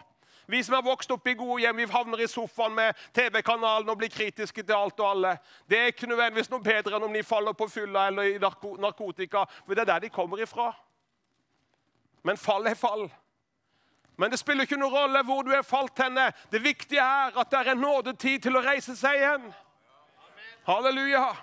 Vi har en fiende som er, som er djevelen. Han går rundt oss, prøver å ødelegge for oss alle sammen. Hans tjeneste er stjele, myrde og ødelegge. Men du vet, Jesus er kommet for at vi skal ha liv og overflod av liv. Halleluja. Så da er det viktig å feste blikket på Han, og du skal få kjenne at du vil fylles i kveld av det livet, det overnaturlige livet og kraften. Halleluja. Han vil fornye igjen i nådegavene og den visjonen som brant i hjertet ditt. Fordi at Jesus er her denne kvelden. Han er hjemme hos deg i stua di, og han sier til deg som profeten sier her. Halleluja. I eh, profeten Mika kapittel 7 og i vers 8 så sier han Gled dere ikke over meg, mine fiender. Halleluja! Gled deg ikke over meg, du mine fiender. Når jeg er falt, hva skjer da? Da står jeg opp igjen. Halleluja! Gled deg ikke over meg, mine fiender. Er når jeg er falt, da reiser meg, da står jeg opp igjen. Og så kommer det, hør her. Om jeg sitter i mørket, så er Herren mitt lys. Halleluja. Du opplever at du sitter i mørket, men Jesus er hos deg denne kvelden. Han er i stua di nå, og han vil opplyse ditt mørke.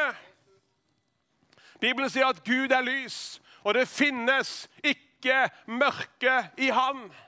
Og Når du tar imot Jesus så bekjenner han, når du tar hans munn, ikke bare la det være i hodet, ditt, men du bekjenner Jesus. Hjelp meg, Jesus. Da vil mørket brytes, og du åpner himmelen over livet ditt. Og du kan få reise deg igjen, og han vil gi deg en ny sjanse. Halleluja. Det å komme til Jesus, han gir oss sjanse på sjanse. Halleluja. Vi har fått nye sjanser, alle sammen. Og vi skal få reise oss og fullføre denne siste etappen. I verden så blir det mørkere, og vi trenger å reise oss fylt av Den hellige ånd. Du vet at når vi gikk inn i den siste etappen, så skjønte jeg at vi, vi måtte sykle. Vi planlegger og vi tenkte vi må gjøre, gjøre sånn. Og vi, vi, så liksom framfor oss den ruta vi skulle sykle. Og Vi trenger å se framfor oss nå, før Jesus kommer tilbake igjen. Så taler Bibelen veldig mye om det, omgivelsene vi beveger oss igjennom. Men det handler ikke om å overleve. Det handler ikke bare om å karre seg til målet. Nei da, vi skal få reise oss i Guds veldige kraft. Halleluja. Jostein nevnte det i skriftstedet. Bli sterk i Herren og i Hans veldige kraft. Halleluja. Det, på den amplified oversettelsen står det 'dra ned din styrke'. Dra ned din styrke fra Han som er kilden til all kraft. Halleluja. Og Hvordan gjør vi det? Jo, gjennom en tett union med Herren. Det er i fellesskapet med Gud. Når du fester blikket på Jesus, halleluja, da fylles du. Og da får du kjenne denne kraften og pågangsmotet til å reise deg igjen. Halleluja. Takk, Jesus. Vi skal få lov til å lese noe Du vet at Paulus var en sånn som fikk lov til å gå et veldig spesielt løp. Han hadde en hard en, et hardt løp. Det var kamp rundt den mannen. Men Bibelen sier vi har ikke kamp imot kjøtt og blod. Nei. Selv om det er kjøtt og blod du kan eh, utarte seg litt igjennom. Da er det viktig å huske på at vi har ikke kamp imot kjøtt og blod, men mot makter. Det er en åndskamp. Det er en som ønsker å stjele, og ønsker å stjele visjonen din, ønsker å stjele livsgnisten din. Men i kveld skal Herren komme til deg, du som sitter og har gitt opp. Du som ikke ønsker å leve mer. Så kommer Jesus i kveld. Han vil møte blikket ditt. Han vil møte deg der i smerten din. Og han vil ta deg ved hånden, og han vil reise deg opp. Halleluja. Halleluja. Paulus han var en kar som, og vi skal gå til Filippa-brevet. Og jeg synes disse, dette, dette berører meg hver gang jeg leser disse, for det er så sterkt å lese hans bekjennelse. Halleluja. Han eh, beskriver jo også I Galaterbrevet så beskriver Paulus at han var en, en som gikk lenger enn de fleste i jødedommen. Han var blant de fremste innenfor den troen som han trodde på. Han trodde han tjente Gud, han trodde han gjorde alt, og han gjorde det 150% Problemet var at han arbeidet imot Gud, han gjorde imot Herren. Og det smerta han den dagen han ble slått av den store hesten sin. Og han lå der og han forsto det at eh, han som han trodde han tjente, det var han han forfulgte. Og Han ble sittende i mørket, og han ble kalt, og han fikk noen åpenbaringer av Jesus. og Han ble, fikk lov til nåden til å bringe evangeliet til hedningefolkene. Og Jeg har ligget der på kne i du, der, der, eh, der eh, Paulus han eh, fikk dette visjonen av denne makedonske mannen. Kom over og hjelp oss! Der jeg har ligget på kne og bedt for Europa. At vekkelsen igjen må komme og berøre Europa. Sånn som den har berørt Afrika, sånn som den har berørt Asia og de ulike verdensdeler. Herre, gjør det igjen i Europa, Herre. Halleluja. Og Jeg lå der, og så fikk jeg sette på fly en gang sammen over til Makedonia og, og, sammen med Kjell. Bare sånn vi kom sammen. Herren sa til meg skal du ringe til Kjell og spørre hvor han skal. Og når jeg sitter på fly til Makedonia, så sier Herren nå skal du støtte Kjell og det arbeidet han har stått i, eh, ja, til jeg henter han hjem. Men nå prøver vi å holde oss så godt i form så at han får lov til å leve lenge. Halleluja. Men det, det som er, poenget her var det at eh, vi skal få stå sammen. Vi trenger å ha medvandrere. Vi går ikke alene på denne reisen. Den er en utrolig velsignelse å kunne dra sammen og reise sammen. Og vi som er sterke, vi skylder å bære de som er svake. Vi trenger å være, ta vare på alle sammen så godt som vi kan. Og hvis alle gjør det, er med på å velsigne og hjelpe og bære og trøste noen, for det vil alltid være noen, og det ligger på Herrens hjerte.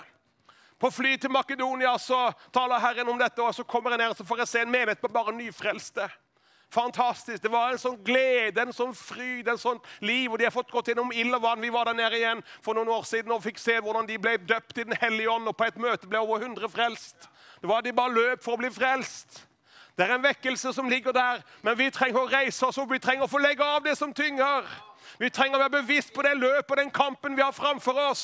Vi kan ikke lage våre egne bobler. Her har vi det så fint. Nå har vi hytte og båt, og nå har vi liksom alt vi trenger. Nå skal vi bare prøve å overleve til Jesus kommer. Og så stønner vi over all elendigheten i verden, og så klager vi på politikere. Du vet at politikere vil ikke løse problemene i Norge. Hva sier du? Nei da, det er vårt ansvar å bøye våre knær og rope til den levende Gud. Og la vekkelsens ild begynne å brenne i våre hjerter. Halleluja! Og Vi trenger å kjenne at der denne vekkelsesilden den gir oss den kraften vi trenger for denne siste etappen. For Herren han vil utgyte av sin ånd. Og jeg vil være her og jeg vil si, Herre, fyll meg. Jeg trenger din fylde, jeg trenger din kraft. Jeg vil ikke bare karre meg over streken, jeg ville komme inn i himmelen med en fart så stor, som Jørn synger. Med en fart så stor at inn i himmelen så er det lange bremsespor. Halleluja! Den hellige ånd og kraft, det som holder liv i meg, det er Den hellige ånd nå. Ja, halleluja. Vi har litt Maranata-folk her i kveld. Det er noe som holder liv i oss. Det er ånden og ilden. Halleluja. Er du tørst i kveld? Er det noen som er tørst i kveld? Halleluja. Er det noen som vil ha kraft i den siste etappen?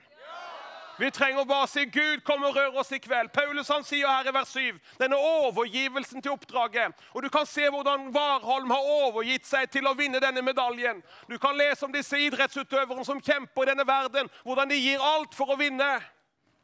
Hvor mange timer de bruker for å trene seg opp. Noen bruker 1400-1500 timer i året. Tenk om vi hadde brukt det på bønn. Da hadde jo ikke vært en ufrelst sjel i hele nasjonen.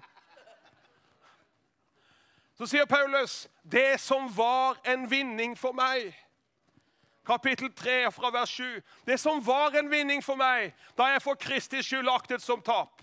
Ja, jeg akter i sannhet alt for tap. Tenk å komme dit. Jeg akter alt for tap. Fordi kunnskapen om Kristus Jesus, min Herre, den er så mye mer verd. Kunnskapen om Jesus. Halleluja. Vi snakket i går om å gi akt på Han, om å studere Han, bruke tid med Han, bli oppgrepet av Jesus. Halleluja. Jeg akter i sannhet alt for tap fordi kunnskapen om Kristus Jesus, min Herre, den er så mye mer verd. For hans skyld har jeg tapt alt, sier Paulus. Jeg akter det for skrap eller søppel for at jeg kan vinne Kristus. Han var jo allerede frelst. Han hadde jo allerede møtt Jesus. Han hadde allerede fått et sterkt kall, men allikevel så sitter han her i fengsel og bare beskriver alt som søppel. For man kan få vinne Kristus. Halleluja. Vi synger at vi vil ha mer av han. Vet du hva? Han vil ha mer av oss. Der ligger hemmeligheten. Vi må på en måte ikke prøve oss. og det er jo klart at eh, Når vi da er på denne sykkelturen gjennom nasjonen, så var det mange ting som, opp, som grep meg. Når vi kjører i bil, så får vi ikke med oss detaljer. Når du sykler, får du med deg mye mer. Så prøv det. Noe av det som jeg så, annet, det var i grøftekantene. Der var det så vakre blomster. Det var nydelig hele veien fra Nordkapp til Lindesnes. Og Gud minner meg om at det fins så mange blomster i grøftene.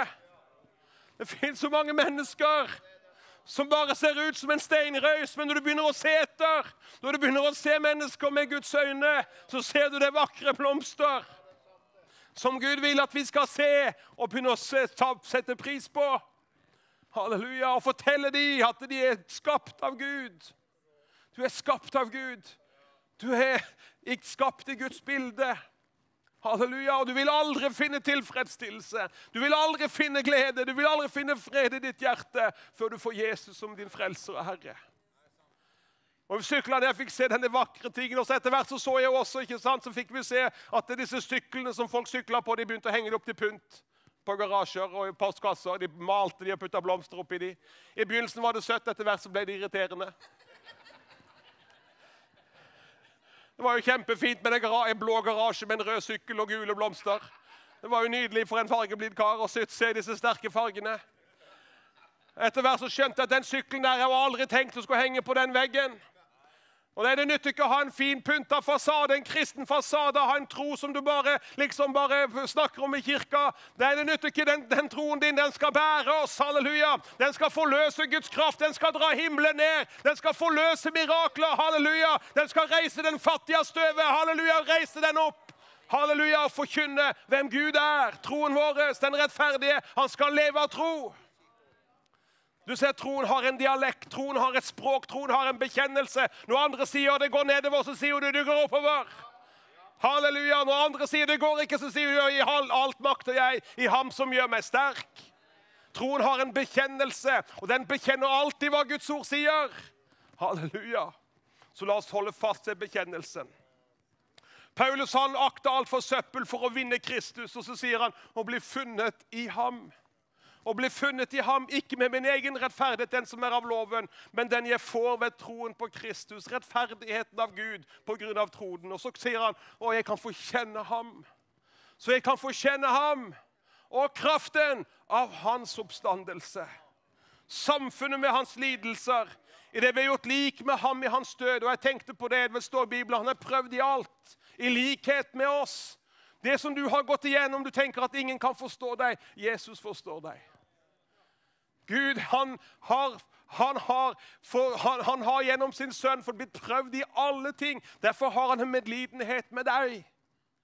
Men han har, han har, ikke en medlidenhet som bare vil deg, la deg forbli i din synd, forbli i din tilstand. Han sier 'reis deg'. Reis deg. Vi skal gi deg nåde til å reise deg. Og jeg skal gi deg nåde for den siste etappen, sier Herren. Halleluja. Se, jeg gjør noe nytt, sier Herren. Og så sier han før det, så han akt ikke på fortiden. Du skal få glemme det som ligger bak. Halleluja. Det skal gå en blodlinje mellom deg og din fortid. Fordi at Herren, han er i går, han er i dag, og han er i morgen den samme. Halleluja. Vi var i går, men du vet at Herren, han var, er i går. Det betyr at han kan noe mer enn psykologer.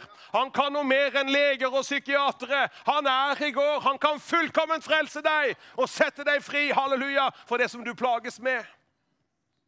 Hvorfor det? Jo, for han er der. Og den som Sønnen får frigjort, han blir virkelig fri. Halleluja. Takk, Jesus, for han er hjemme hos deg denne kvelden. her. Og han skal få lov til å overøse oss med frisk olje i kveld. Han skal salve oss og, utruste oss. Og noe av det som vi måtte gjøre på denne sykkelturen Jeg måtte av og til innom en sykkelverksted og få fiksa opp sykkelen litt. Skifte noen spiler, olje litt og ordne litt for at eh, den skulle være klar for neste etappe. Og Jeg føler på at vi er inne på sånne stevner nå, så kaller Herren oss inn. Det er tid for å, ha en skikkelig service på et åndelig liv. Sett oss for et hellig mål. For å ta oss og vekke opp igjen de nådegaver som Gud har lagt ned i oss. Halleluja. Stir it up. Halleluja. Vekk det opp igjen. Halleluja. La det få lov til å komme til overflaten igjen. Det var En som beskrev det sånn vet du, at det er som ei svær gryte med, med, med lapskaus der du har masse flott, salt, godt kjøtt i. Men hvis den blir stående for lenge, så synker jo kjøttet ned. Da må du begynne å, å, grave det opp igjen. Halleluja. Sånn at du får godsakene fram igjen. Og du vet at det, det, er noe av det som står at vi skal vekke opp igjen. De åndelige gaver, de som har ligget, det som ligger i deg. La Herren i kveld få vekke det opp igjen. Stir it up! Halleluja, de var nynorsk. Vekk det opp igjen. Det ligger noe der som Gud har overøst deg med, som Gud har gitt deg, så du skal betjene andre på reisen. Halleluja! Vi fikk høre en nydelig vitnesbyrd her om mennesker som kanskje hadde tenkt at det finnes ikke noe mer oppgaver for oss. Vi er for syke, vi er for svake, det går ikke. Men så kom Herren, halleluja, og han gjorde et nytt verk. Halleluja!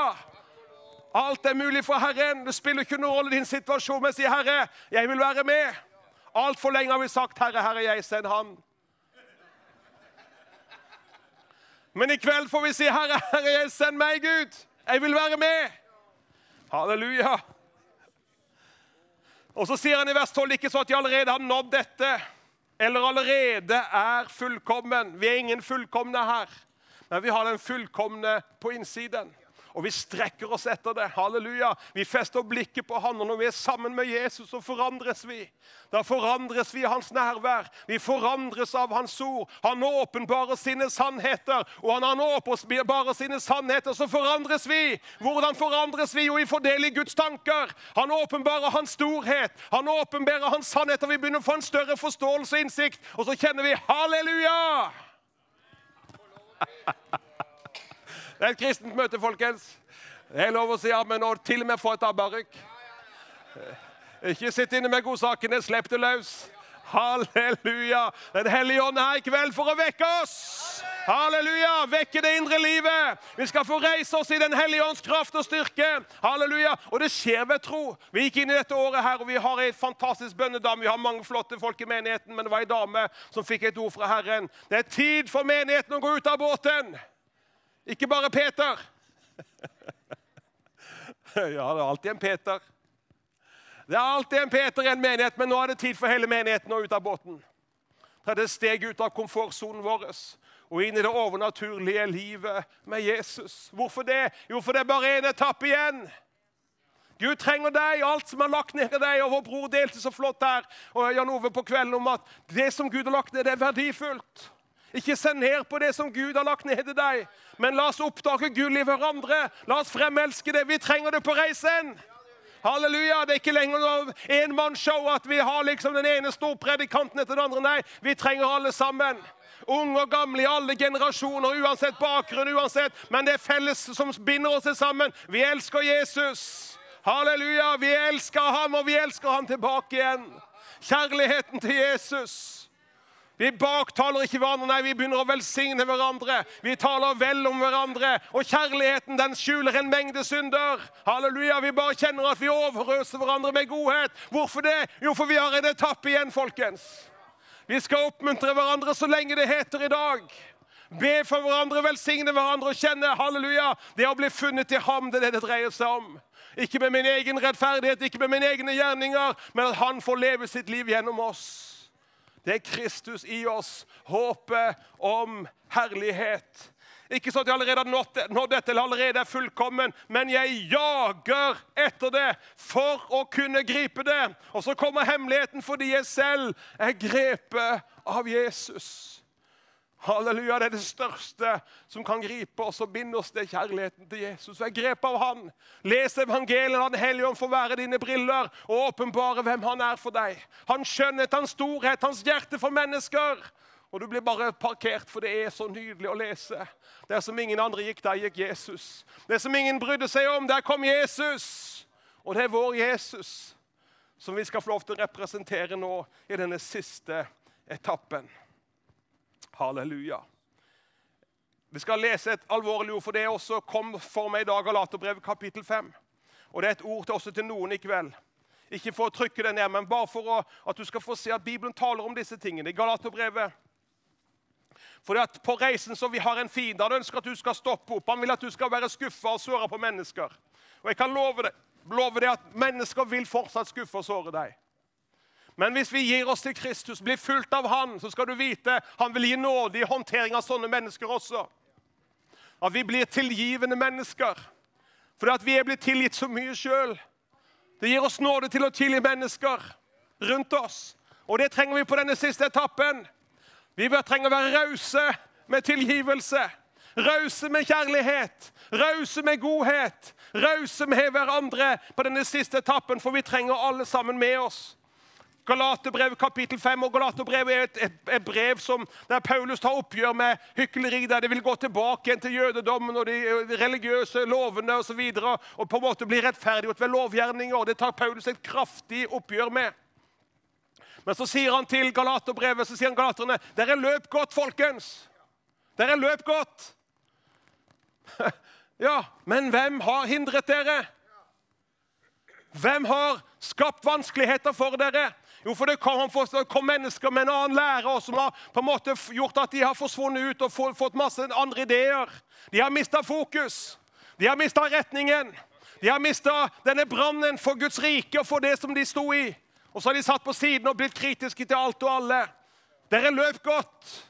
Hvem har hindret dere? Og det er til noen i kveld du sitter hjemme i stua og du tenker på den og den har såra deg. vet du hva? Det kan godt være. Men vet du hva? vi skal komme tilbake til den enkle troskapen imot Jesus Kristus. Det er en som er blitt misforstått, det er en som er blitt eh, behandla dårligere enn deg. Og det var Jesus. Tenk deg Jesus som levde et sunnfritt liv. Han sa aldri noe feil, han gjorde aldri noe galt. Allikevel så piska de, torturerte han. Og de hang han på korset som en forbryter, som den verste forbryter. Men i sin død så ropte han, 'Far, tilgi dem', for de vet ikke hva de gjør. Jeg ber om at denne tilgivel, ånd av tilgivelse og raushet den skal prege oss i denne siste etappen. Så vi kan være med å plukke opp enda flere mennesker som er blitt liggende etter på veien. Som sitter i sin bitterhet og sitter i sine smerter. Så sier vet du hva, Jesus han skal gi oss en ny sjanse. Kom, reis deg, vi skal gå sammen. Denne siste etappen. Halleluja. Takk, Jesus. Se på oss også i Apostlenes gjerne, kapittel 20, skal vi snart be til Gud sammen. Så sier Paulus her, han har, er på avslutningen av sin tjeneste. Har, det er sterkt å lese kapittel 20 i apostlenes gjerning over den, den, relasjonen som Paulus hadde til, til, til, menigheten her. Men så sier han vers 20, så sier han, men for meg selv, sier Paulus. Han sier, 'Bundet av ånden' i vers 22 drar jeg til nå til Jerusalem, og jeg vet ikke hva som skal møte meg der. Jeg vet bare at Den hellige ånd i by etter by vitner for meg at det blir lenker og trengsler venter på meg. Og det kjenner jeg også i den siste etappen, så vil det bli lenker og trengsler. Det vil komme et, et angrep på den, på den vekkelseskristendommen som vi bærer på. Ja, Myndighetene og disse lovene og alt dette, de vil komme og prøve å stoppe oss på alle mulige vis.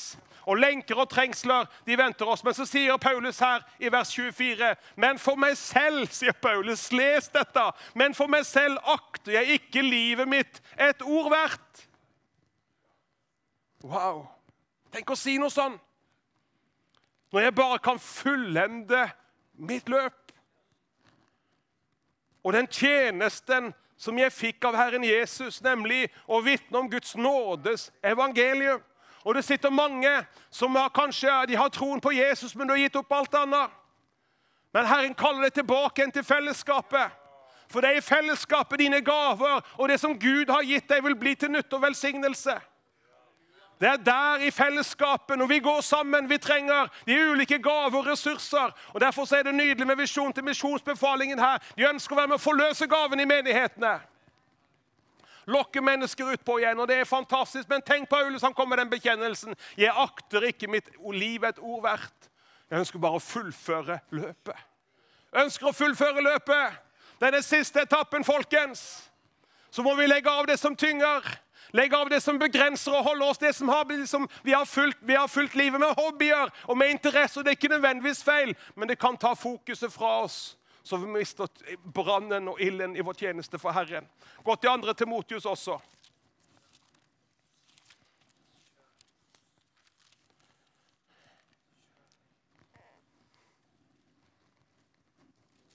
Og Her sier Paulus igjen til Timotius, som var en fantastisk, var hans åndelige sønn. Så sier han i kapittel 4 og vers 7 Han sier først jeg, jeg, blir alt, alt ofret, og tiden for min bortgang forestår. Men så kommer han med denne bekjennelsen. Jeg har stridd den gode strid. Halleluja. Vil du kunne si det den dagen vi står framfor tronen, vi står, og Jesus kommer snart tilbake igjen. Jeg har stridd den gode strid. Du ser du kjemper en strid uansett. Du kommer an på hvilken kamp du kjemper. Hebreerbrevet 12 sa vi har en kamp for oss. I det løpet vi er på vei, så er det en kamp som står foran oss. Så du strider en strid uansett hva den måtte være. Så er det en strid. Det sier Jobbs bok også. En menneskes dager er som en krigers dager, en krigsmanns dager.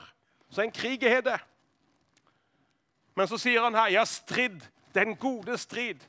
Jeg har fullendt løpet.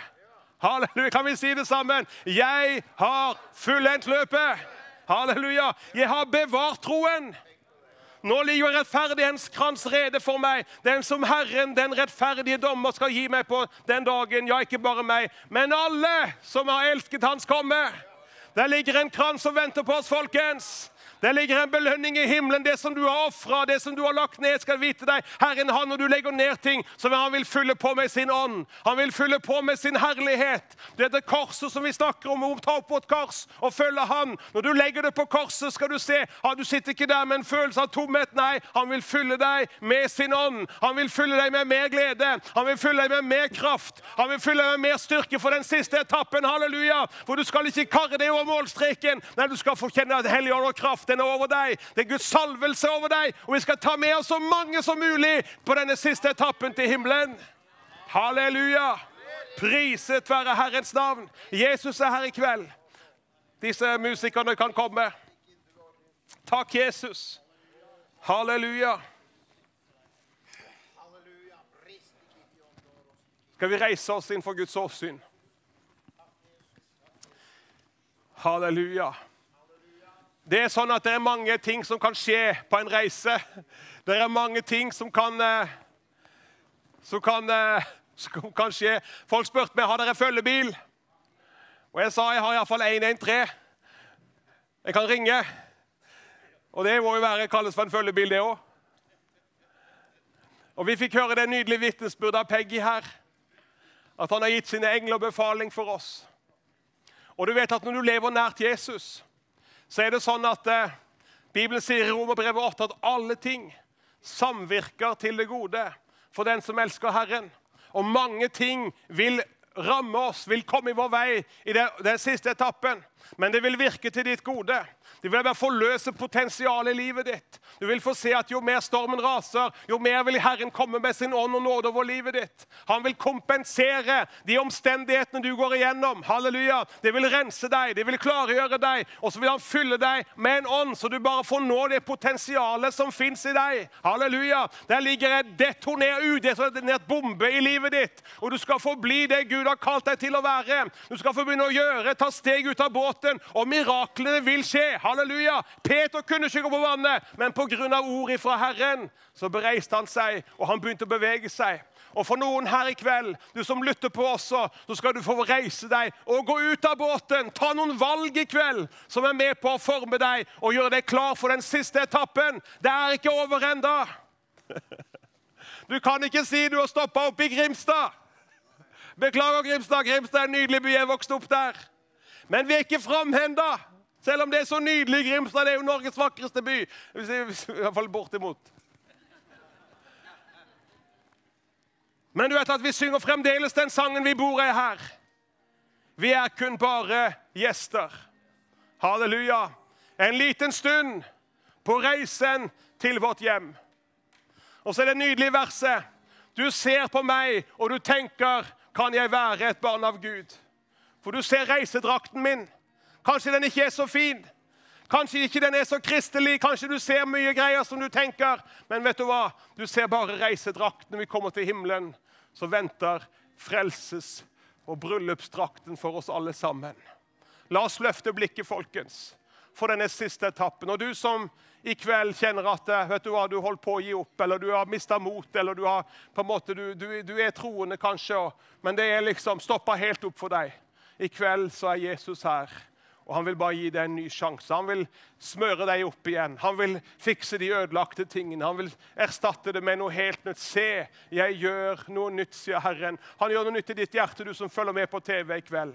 Guds nåde halleluja, strekker seg ned til den dypeste synd, renser deg, setter deg fri og gir deg klar til den siste etappen.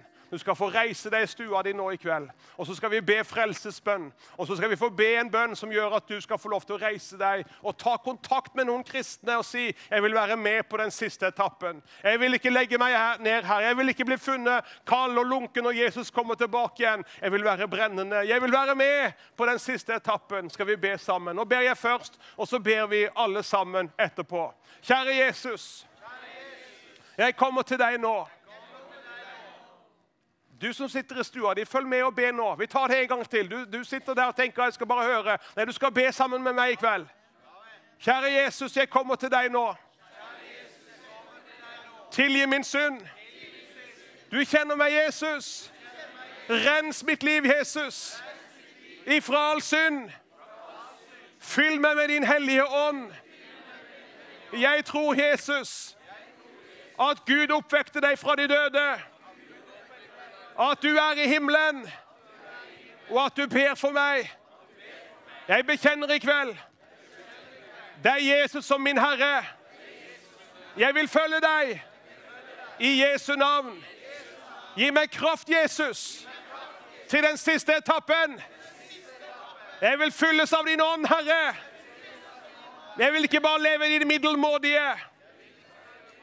Jeg vil leve i din kraft. I Jesu navn. Amen. Om du ba den bønnen, så sier vi gratulerer. Da er du blitt et barn av Gud i kveld. Dine synder, det er tilgitt og glemt hos Herren. Halleluja, du er blitt en ny skapning. Da kan du ringe inn og ta kontakt med Visjon Norge, eller med noen som du kjenner, noen kristne. V- ta kontakt. Vi ingen er til, kalt til å gå alene. Vi er kalt til å gå sammen i denne siste etappen. Vi skal være så våkne i våre hjerter, i vår ånd, i den tiden som nå er, at ikke vi lar ting splitte oss. Men vi har fått forsoningens tjeneste. Kan du tenke deg Gud? han På slutten så sier han til Israel, Jesaja så sier han om deres synder er som purpur. Kom, la oss gå i rette med hverandre, sier han, som er den hellige og rene. Kom, la oss gå i rette med hverandre. Om deres synder er som purpur, så skal de bli hvite som sne. Gud kommer oss i møte i kveld. Halleluja. Takk, Jesus. Og Jeg kjenner at dette har vært et budskap til noen i kveld. Det betyr ikke at du er frafallen. Det betyr egentlig bare at vi ønsker å klargjøre oss for den siste etappen. Herren vil utøse sin ånd over oss denne kvelden. Han vil fylle deg med kraft. Og han vil gjøre noe som vi har fått høre. Han gjorde noe her inne. Han gjorde det, skjedde noe. Vi kan ikke forklare det, men det bare skjedde noe fordi at Guds ånd kom over deg. Så om du trenger denne kraften i kveld, skal du komme og stille deg her framme. Og så skal Herren forrøre deg og fylle deg med sin Bare kom i Jesu navn. Dette er en mobilisering, dette er en innvielse for den siste etappen. Folket, kjenner Gud er her. Jesus er her med sin hånd i kveld for å utruste deg. Kjenner at det her i Sunnmøre vi har vært her og bedt, og vi snakker om det ligger noe som bare ligger her og venter på. du kommer et gjennombrudd. Det kommer et gjennombrudd over Sunnmøre, over Ulsteinvik-området.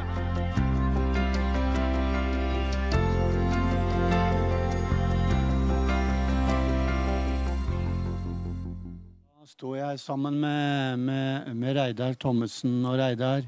En ny, sterk kveld. Vi kan jo snakke om både høyde og dybde og bredde i kveld. Hva som er i Guds kjærlighet. Ja, det Ja. er det. Og Ja. Birger var veldig fin i kveld. Ja. Han uh, var jo inne på den siste store etappen som vi er på vei til nå. Ja, For å, full, for å fullføre løpet. Stemmer. For um, det er sant, vi lever i en spesiell tid. Og um, vi tror det, Reidar, at i kveld så er det mange som Herren har møtt. Ja. Rundt omkring i de titusener av Ja, hjem i hele Skandinavia og langt Ja. utover Skandinavia. Ja. Så vi er så takknemlige at vi kan få lov å være en kanal for dette, for dette eh, sterke budskapet som i kveld. Det er fantastisk. Ja. Og eh, det er som han sa nå på slutten. Se, jeg gjør noe nytt. Ja. Ja. Og så får vi lov til å fullføre løpet. Ja. Og eh, få seierskransen Mm. den dagen vi er hjemme hos Herren. Og har sagt ja til Han. Og kan få lov til å kjenne at vi er bevart i Mm. troen på Han. Og så, så enkelt som eh, det er, at alle de som tok imot ham, den ga han retten til å bli Guds barn. Mm. De som tror på hans navn. Ja. Ja.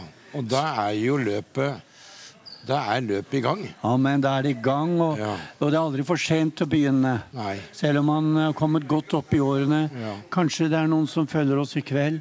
Helt sikkert, eh, Reidar, som har kommet langt opp i årene. Men som der de sitter nå, kan få lov å si ja til Jesus. For eh, som vi hørte i kveld, det er ikke starten først og fremst som teller, Mm. Nei. men det er, det at man fullfører. Ja, det er siste etappen. Ja, men du, det er jo ganske sterkt å tenke på, Reidar, at eh, Herren har både frelst oss og bevart oss. Ja. Inntil i dag. Det er stor nåde, Reidar. det. Og det er det, det, det som er så godt, at han har jo lov til å være med oss alle dager. Ja. ja. Alle dager. Ja. Uansett åssen de er, så er alle dagene med. Amen. Amen. Og så vil jeg også nå benytte anledningen til å takke alle dere som har vært med og ofra inn, også av dere som følger oss sendingen. Dere har brukt enten VIPS eller SMS. Gud velsigne dere tilbake. Ja. Det betyr så mye for oss. Ja. Og så har vi en ny dag i morgen. eh, Vi har det. eh, Reidar, kan du si litt om den fra Ja. morgenen av? I morgen så er du da Ja, uten eh, Visjon Norge, da, så er vi på Tjeldsund. Eh, leirsted og eh, ungdomssenter. Og der er det bønn klokka ti og møte klokka tolv. For dere som eh, bor i nærområdet Ulsteinvik, Ålesund, eh, Gurskøy og rundt her, så er dere velkommen til Tjeldsund. Der er det møte klokka tolv med Birger Wroldsen. Han taler da. Da taler han da. Og så er det møte her i morgen kveld. Og da er det klokka 19.30. Og da er det Kjell Haltorp som skal tale på det siste store møtet her i Kulturhuset. Det blir eh, fantastisk. Jeg må få lov å bruke det uttrykket. Så eh, kom også hit til Fosnavåg. Og eh, vi tror på en flott og sterk avslutning hvor det skal tas mange valg rundt omkring i de titusener av hjem, men også her i Fosnavåg konserthus. Ja. Ta med deg møtefremmende. Ja. Ta med deg noen som egentlig du vet hadde hatt lyst til å komme i et sånt møte. Ja. Men det er en terskel. Eh, De trenger venner, Reidar. Ja. De som egentlig er kaldt og lengter. De trenger noen som, som eh, drar i dem, eh, tar de med. La det bli en slik kveld i Fosnavåg kulturhus. Det skulle være greit og enkelt å ta med noen hit. Dette er jo et kulturhus også. Ja da, og det var, og Ja. det var veldig mye folk i kveld òg. Ja, og det var var mer folk i kveld enn i går. Og øh, det er enda plass. Så denne salen her, den rommer jo flere hundre. Så øh, dere er hjertelig velkommen, dere i områdene her, til møtet her i morgen kveld og høre på Kjell Haltorp. Amen. Så bare ber jeg deg, Herre, for alle som har fulgt denne sendingen. Eh, Vi ber deg, Herre, om en god nattesøvn. Vi ber Ja. om din fred. Og så griper du inn i noens liv nå også, Herre. Som kanskje har kommet langt opp i Ja. årene. Men Jesus, takk at akkurat nå kan, kan noen si ja til deg, Herre, langt opp i årene. Gripe deg i Jesu navn. Ha en god nattesøvn. Guds fred. Så godt. Takk for i kveld. Amen. Veldig bra. Og så, før vi sier takk for i kveld, da, jeg sa det, så er det en ny dag i morgen. Så følg med. på TV Visjon Norge, på reprise også. Det kan du få. Så da kan vi si en god natt i Jesu navn. Amen. Varje dag jag ser en mening med mitt liv Jag får